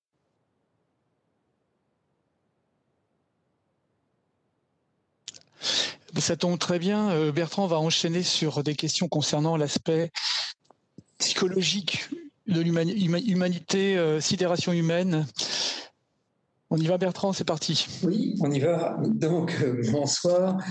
Bon, on a vraiment l'impression que l'humanité va un peu dans le mur avec, en gardant le pied sur l'accélérateur. Alors, comment euh, est-ce que vous avez une explication à ce phénomène de sidération et, l'incapacité globale, hein, même si, bien entendu, nous, nous sommes convaincus, hein, mais, et beaucoup de gens le sont, mais d'autres ne le sont pas. comment expliquer ce phénomène de sidération et puis notre incapacité globalement à agir efficacement Alors, euh, la sidération, elle vient du fait que, bah, disons, il y a un décalage entre les causes du réchauffement climatique et les conséquences. Euh, disons, comme je le redis, euh, ce il y a 30 ans, ce qu'on vit aujourd'hui était anticipé. Euh, disons, on ne s'est pas trompé, malheureusement, je dirais presque. disons, en gros, notre communauté, euh, bon, même s'il y a beaucoup de climato-scepticisme dans d'autres communautés, mais c'est clair que les gens qui travaillent sur ce climat. Et, donc, euh, mais il y a ce décalage. Hein, disons, le la réalité du réchauffement climatique, euh, ça résulte des émissions de gaz à effet de serre sur les dernières décennies, puis les années 50 en particulier. Hein. Donc euh, ce décalage ne facilite pas les choses. Hein. Donc euh, en gros, bon, il y a, disons, les, les climato-réalistes, en gros, l'idée, c'est ben, on verra bien. Il y a aussi notre, la certitude de certains, de, d'une partie de notre humanité qui se dit quand les problèmes sont là, on saura, on saura leur apporter des, réponses. Et c'est absolument faux. personne n'arrêtera, je l'ai dit, l'élévation du niveau de la mer, personne n'arrêtera l'intensification des cyclones, personne n'arrêtera les vagues de chaleur qui seront plus importantes. Donc, euh, non, donc c'est cette idée-là. C'est aussi notre. Enfin, on est, vraiment euh, extrêmement. On est trop sûr de nous-mêmes. Hein, donc, on ne regarde pas. Voilà. Et puis, euh, faut pas non plus toujours. je suis d'accord. bon, que nous sommes. Bon, nous sommes ce soir, peut-être tous ceux qui nous écoutent ici sont à peu près, enfin, sont, j'imagine, conscients de la réalité du réchauffement climatique, des solutions, mais même, euh, nous sommes quand même chacun d'entre nous responsables des missions. Et euh, je redis que, c'est ce, autour de quoi ont été organisées les, discussions des citoyens. Se loger, se nourrir, se déplacer, notre vie de tous les jours, c'est plus de la moitié des émissions. Et chacun d'entre nous, on doit se poser la question, pas toujours regarder vers les autres. C'est quand même parce que chacun d'entre nous, euh, on ne fait pas non plus les efforts, les efforts suffisants. Donc, c'est plus facile de continuer sur les trajectoires actuelles, mais il faut aussi regarder euh, chacun d'entre nous. Il faut essayer d'entraîner, c'est ce qu'on essaye de faire. Moi, je, voilà, euh, faut pas toujours accuser les autres. Hein. Donc euh, voilà, c'est un peu ça. chacun a un rôle à jouer, y compris chacun d'entre nous. Oui, puis je pense qu'on est un peu comme un super tanker. À partir du moment où on décide d'arrêter, il faut attendre des kilomètres avant, avant l'arrêt complet. Exactement. Alors, vous avez participé aux travaux de la Convention citoyenne pour le climat, vous l'avez dit tout à l'heure. Alors, les mesures proposées sont-elles, euh, à votre avis, totalement suffisantes ou en proposeriez-vous d'autres euh, pour lesquelles vous êtes intimement convaincu Puis je vais ajouter une question euh, d'Antoine du Master Environnement Droit. Euh, de la même manière que les boucles de rétroaction climatique négatives, des boucles de rétroaction positive ont-elles été modélisées? Mais là, ça dépasse ma, ça dépasse ma compétence. J'ai oublié la première question. Alors, euh, oui, donc, euh, vous avez participé aux travaux de la Convention citoyenne pour le climat. et, oui, bien sûr. Oui. Alors, moi, je suis d'abord, je suis convaincu que les, disons, les propositions, des, les recommandations des, citoyens sont extrêmement pertinentes par rapport à l'objectif qui leur était euh, assigné euh, de mettre la France sur une trajectoire euh, compatible avec ses objectifs, les objectifs de la loi. Donc on, ce ne sont pas des révolutionnaires, les citoyens. ce sont simplement des gens qui se sont dit qu'est-ce qu'on pourrait faire pour que les objectifs de la loi soient respectés. C'était ça leur mission, dans un esprit de justice sociale, et ils en ont aussi beaucoup discuté. Hein, donc voilà. Et bon, moi, je suis de ceux qui pensent que ces mesures sont très pertinentes et euh, qu'il aurait fallu mettre l'ensemble de ces mesures en œuvre tout de suite, l'ensemble et très rapidement, le plus rapidement possible, pour avoir des chances que la France respecte ses objectifs. Et j'ai par exemple été de ceux, je, peut-être certains, disons, j'ai par exemple regretté que celle d'une limitation de, à 110 km/h sur les autoroutes soit, soit mise de côté, soit un des jokers d'Emmanuel Macron. J'aurais, je pense qu'elle aurait été, elle était très pertinente cette mesure. Elle reste très pertinente par rapport aux objectifs de la France. Donc oui, euh, c'est peut-être, c'est peut-être même pas nécessaire de mettre, enfin c'est en tout cas indispensable de mettre en œuvre rapidement l'ensemble des mesures si on veut avoir des chances que la France respecte ses objectifs. Oh, du coup, j'ai oublié la deuxième question après. Mais... Ah oui, mais non, ce, n'est pas grave. Alors, il, y en avait, il, y en avait, deux. Alors, selon vous, d'Antoine du, du, Master Environnement Droit, selon vous, les objectifs de développement durable et l'agenda 2030 sont-ils une utopie ou un réel moyen d'action? Alors, il y a peut-être des redondances. Ah oui, ça, j'ai déjà répondu. J'ai répondu, oui, sur les ODD un petit peu. Euh, moi, je pense que prend, là aussi, c'est bien qu'on ait ces objectifs de développement durable. Ils sont très bien construits. Ils prennent ils, ont, ils prennent euh, l'ensemble des problèmes auxquels euh, notre humanité risque de faire face, pas simplement les problèmes climatiques, mais les problèmes d'environnement au sens large, de transition écologique. Généralement, euh, on voit bien que ces objectifs, on l'a vu pour la perte de biodiversité, ne sont pas respectés, mais ils sont utiles et il faudrait qu'ils soient respectés. Mais bon, à, chaque fois, disons, le, par rapport aux, objectifs du millénium, euh, le constat qui a été fait, c'est qu'en 2020, eh bien, les objectifs ne sont pas respectés, euh, malheureusement. Donc, mais euh, je pense que c'est bien qu'ils existent et qu'ils soient ambitieux. C'est le, minimum. Et moi, je, je disons, je m'inscris pleinement dans, dans, dans, ces objectifs et je me, je me retrouve pleinement dans ces objectifs du développement durable. Bertrand, Monsieur Jouzel, effectivement, la question avait déjà été posée, Bertrand je pense qu'il faudrait qu'on aborde une ou deux questions sur le thème de la justice climatique avant de conclure. Voilà. Euh, donc, on va peut-être s'arrêter là sur les aspects euh, précédents. Oui. Donc, euh, et là, c'est moi qui vais reprendre la parole. On, voit que c'est compliqué pour nous d'être à la fois sur, le chat et les questions et, sur le micro. C'est bon, je sais. Voilà. Alors, je ne sais pas si vous m'entendez. C'est bon? Si, moi ça va. Merci. Donc, toutes les études actuelles montrent que la France ne tient pas ses promesses de réduction de gaz à effet de serre pour atteindre la neutralité en 2050.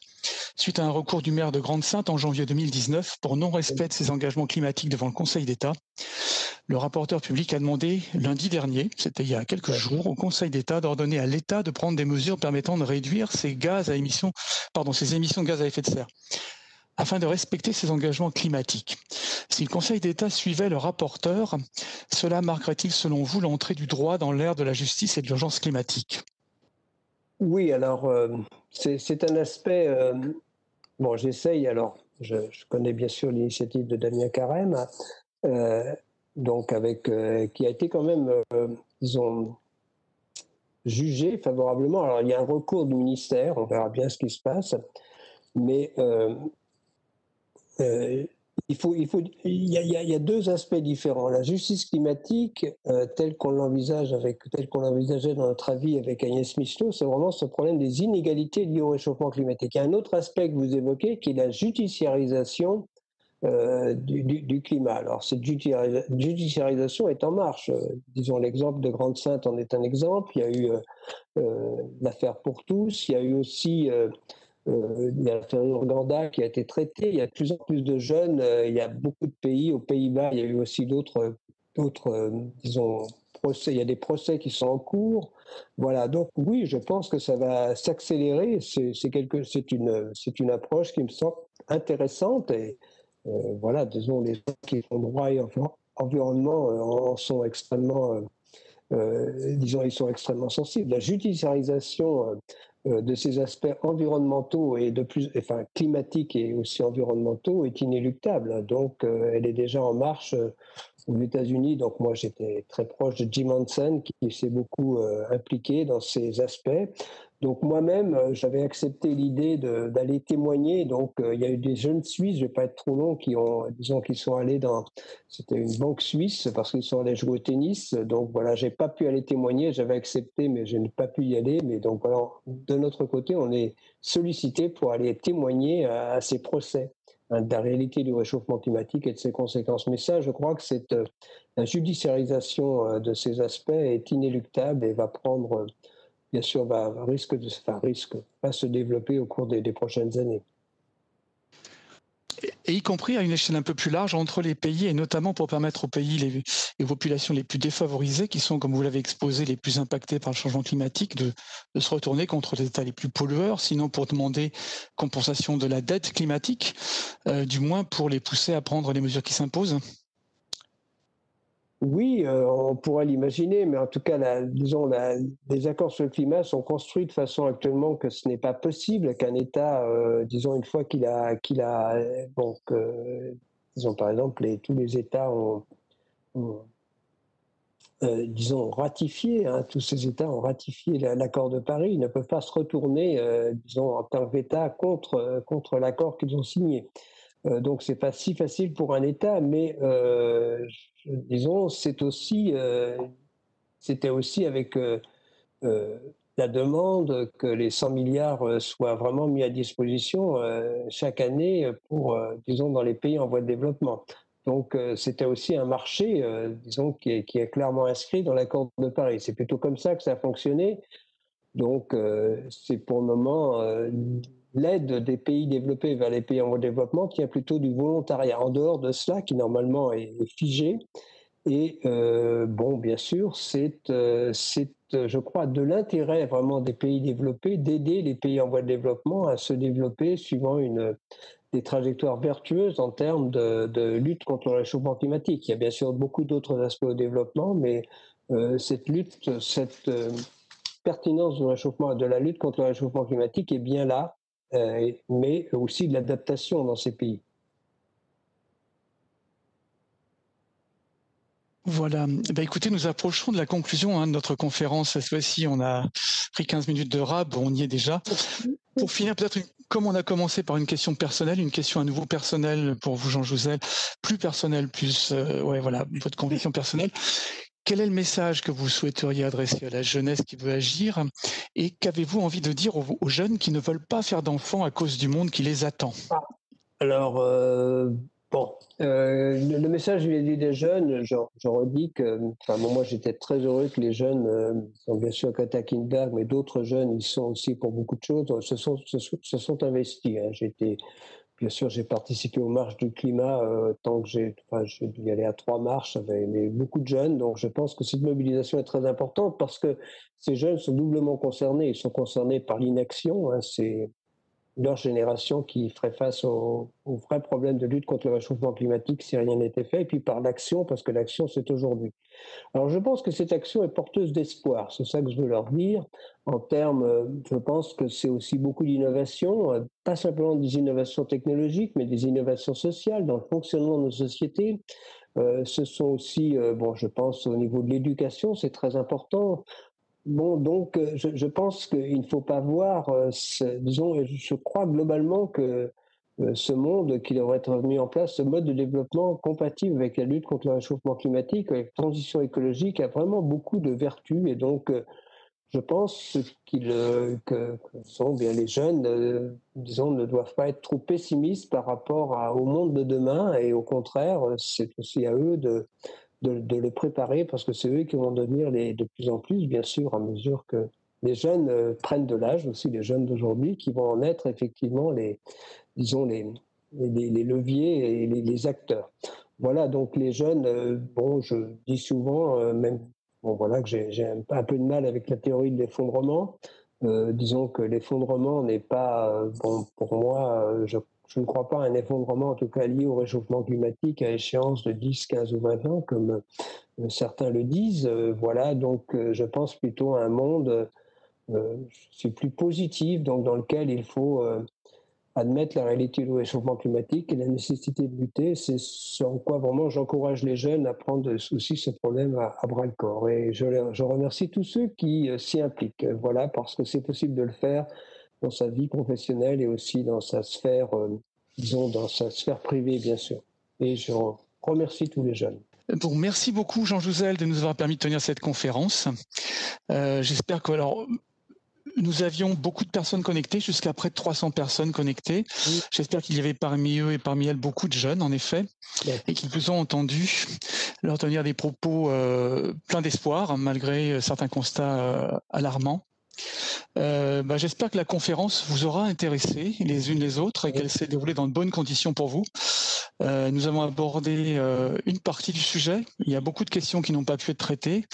Nous, allons essayer de répondre à toutes ces questions en, temps différé, on va dire. On va récupérer toutes les questions que vous avez posées et puis peut-être avec l'aide de Jean Jouzel y apporter quelques réponses supplémentaires. En tout cas, on mettra tout cela en ligne dès que possible, ainsi que cette conférence qui a été enregistrée. Je vous souhaite à présent à toutes et tous une, bah, bonne soirée euh, qui commence, euh, en vous laissant apprécier s'il convient d'organiser dès à présent un apéro Zoom ou pas. En tout cas, euh, bonne soirée à tous. Merci encore Jean Jouzel. Et puis, n'oubliez pas notre programme de conférence qui viendra aussi compléter ce débat sur climat et inégalité, comme je vous l'ai indiqué en introduction. Merci à toutes et à tous. Au revoir Jean Jouzel. Au revoir bon courage pour la suite de vos combats. Et merci pour ce que vous faites. Au revoir. Merci beaucoup. Et bonne, bon festival pendant ces journées à venir. Merci à vous tous. Bonne soirée. Merci beaucoup et grand merci à Didier également, qui est enfin, enfin en congé. Voilà, merci Didier, merci à vous. Merci.